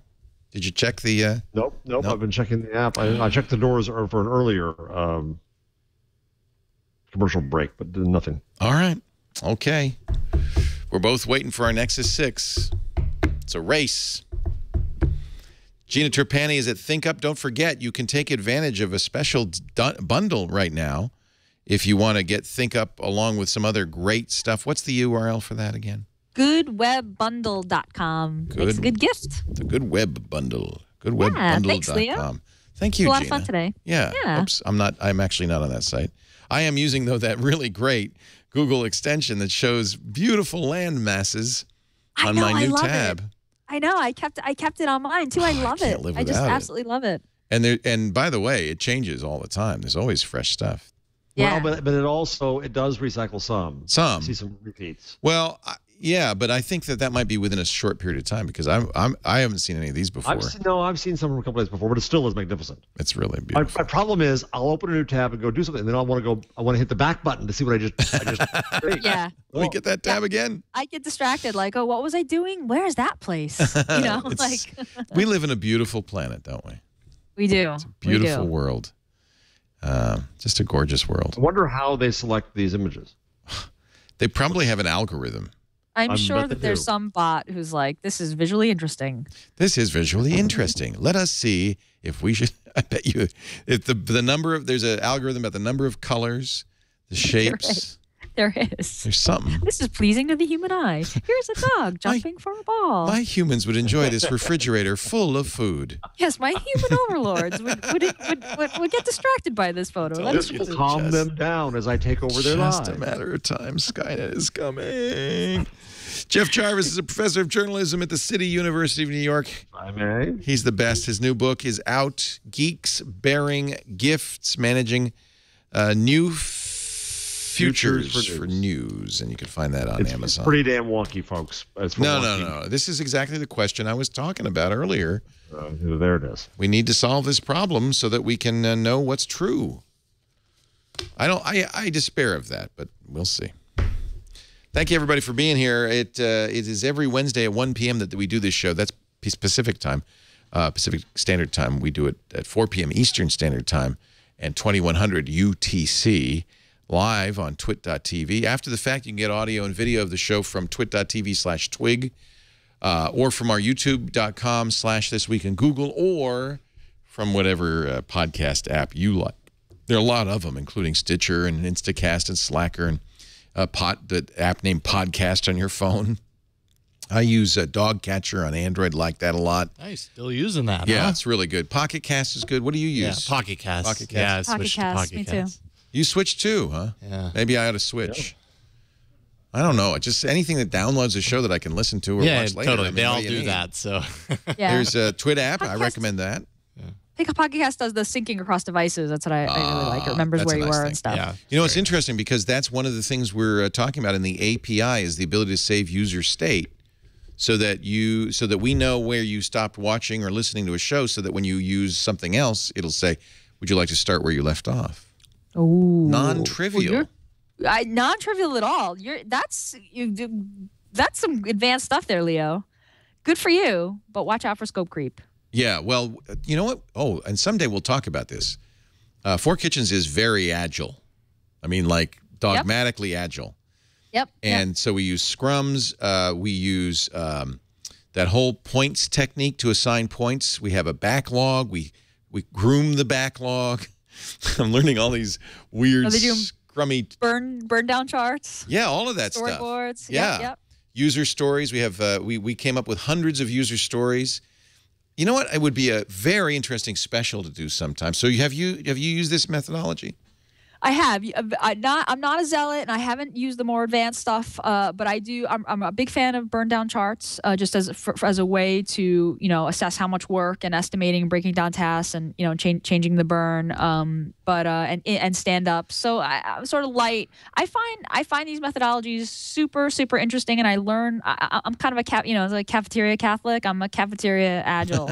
you know, I take I take. Well, we are take working with the Pope. and- Let me tell you, of You're agile. working with the Pope. Yeah, yeah. Holy cow! I'm al- I, I I'm personally always a little wary of the kind of the folks that are like one true way. I must Right. do it exactly. But but I think it, I mean I think it does work. I mean if you have a if you have an, a, a development shop that's that's just committed to the methodology and that's the language they speak and it works for everyone, that's great. I've never been on a team where everyone was fully on board and fully committed, so it's always been kind of piecemeal for me. Yeah, no, this uh, is you pretty should do a serious. we have a it's very certified. Scrum Master, Paul Benjamin, is running this thing like a like clockwork. Oh, we you have the Scrum Master. Nice. A Scrum Master. We have stand-ups every day.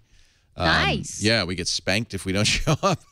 Uh, it's really good uh, so far. Uh, it is process heavy at the beginning, and so there's some debate Yeah. over how much process. We're going to spend a lot of money on process right now, but I think Yeah. that this is what you have to do to make sure that we, as the project owners, get our needs heard Yes. and and and the, the developers understand the job that they need to do. That's the hardest thing I think in software development. So Yeah, there's a lot of value I think to formalizing that, especially if you're working with a with, with a third party. I think, I think that that's great. Yeah. I would love to see that special. okay, when uh, when the Four Kitchens people come here, maybe we'll do it. The Um, making of. the making of it's dri- it's driving certain of us crazy. Wait, now, so, okay, so well, I want to hear more about that. Uh, that'll I have to be an won't on the offline conversation. I, Okay. I'm I have uh, I understand how much geeks love process, and sometimes to the point where we love process rather than doing anything. Yeah. So you know, you ever used the getting things done methodology? Many a geek has done 43 folders and set it all up just so, but never gets anything done. But man, they have a system. And so I always want to temper the love of the system with an actual de- desire to get work done. But I think it's getting done. And if I tell you what, we'll know at the end if you like the new Twit site, then then it will have worked. Absolutely. Yeah. We uh, do use software that supports Scrum. We're using Atlassian Jira, of course, one of our uh, sponsors. Actually, uh, Four Kitchens has always used Jira, so that was no problem. We use Hit. We have our own HipChat chat channel at all times, and it's really int- Jira is amazing. Jira really is all about you know the agile uh, experience. Yeah, if you're using a tool that's geared for a particular methodology, it's that's great. Yeah. Yeah. Yeah. Eric, uh, a couple of people in the chat room are familiar with this. One of them says, "All projects with Scrum feel process heavy at first, but it pays off big time in the end." That's that's how. That's I, what they always say. That's that's what they always say, isn't it? You're gonna love the result. Well, the proof is in the pudding. We'll see. Anyway, uh, thank you for being here. Thank you, Jeff. Thank you, Gina. We love you, and thanks to you for being here. We'll see you next time on this week in Google. Bye bye.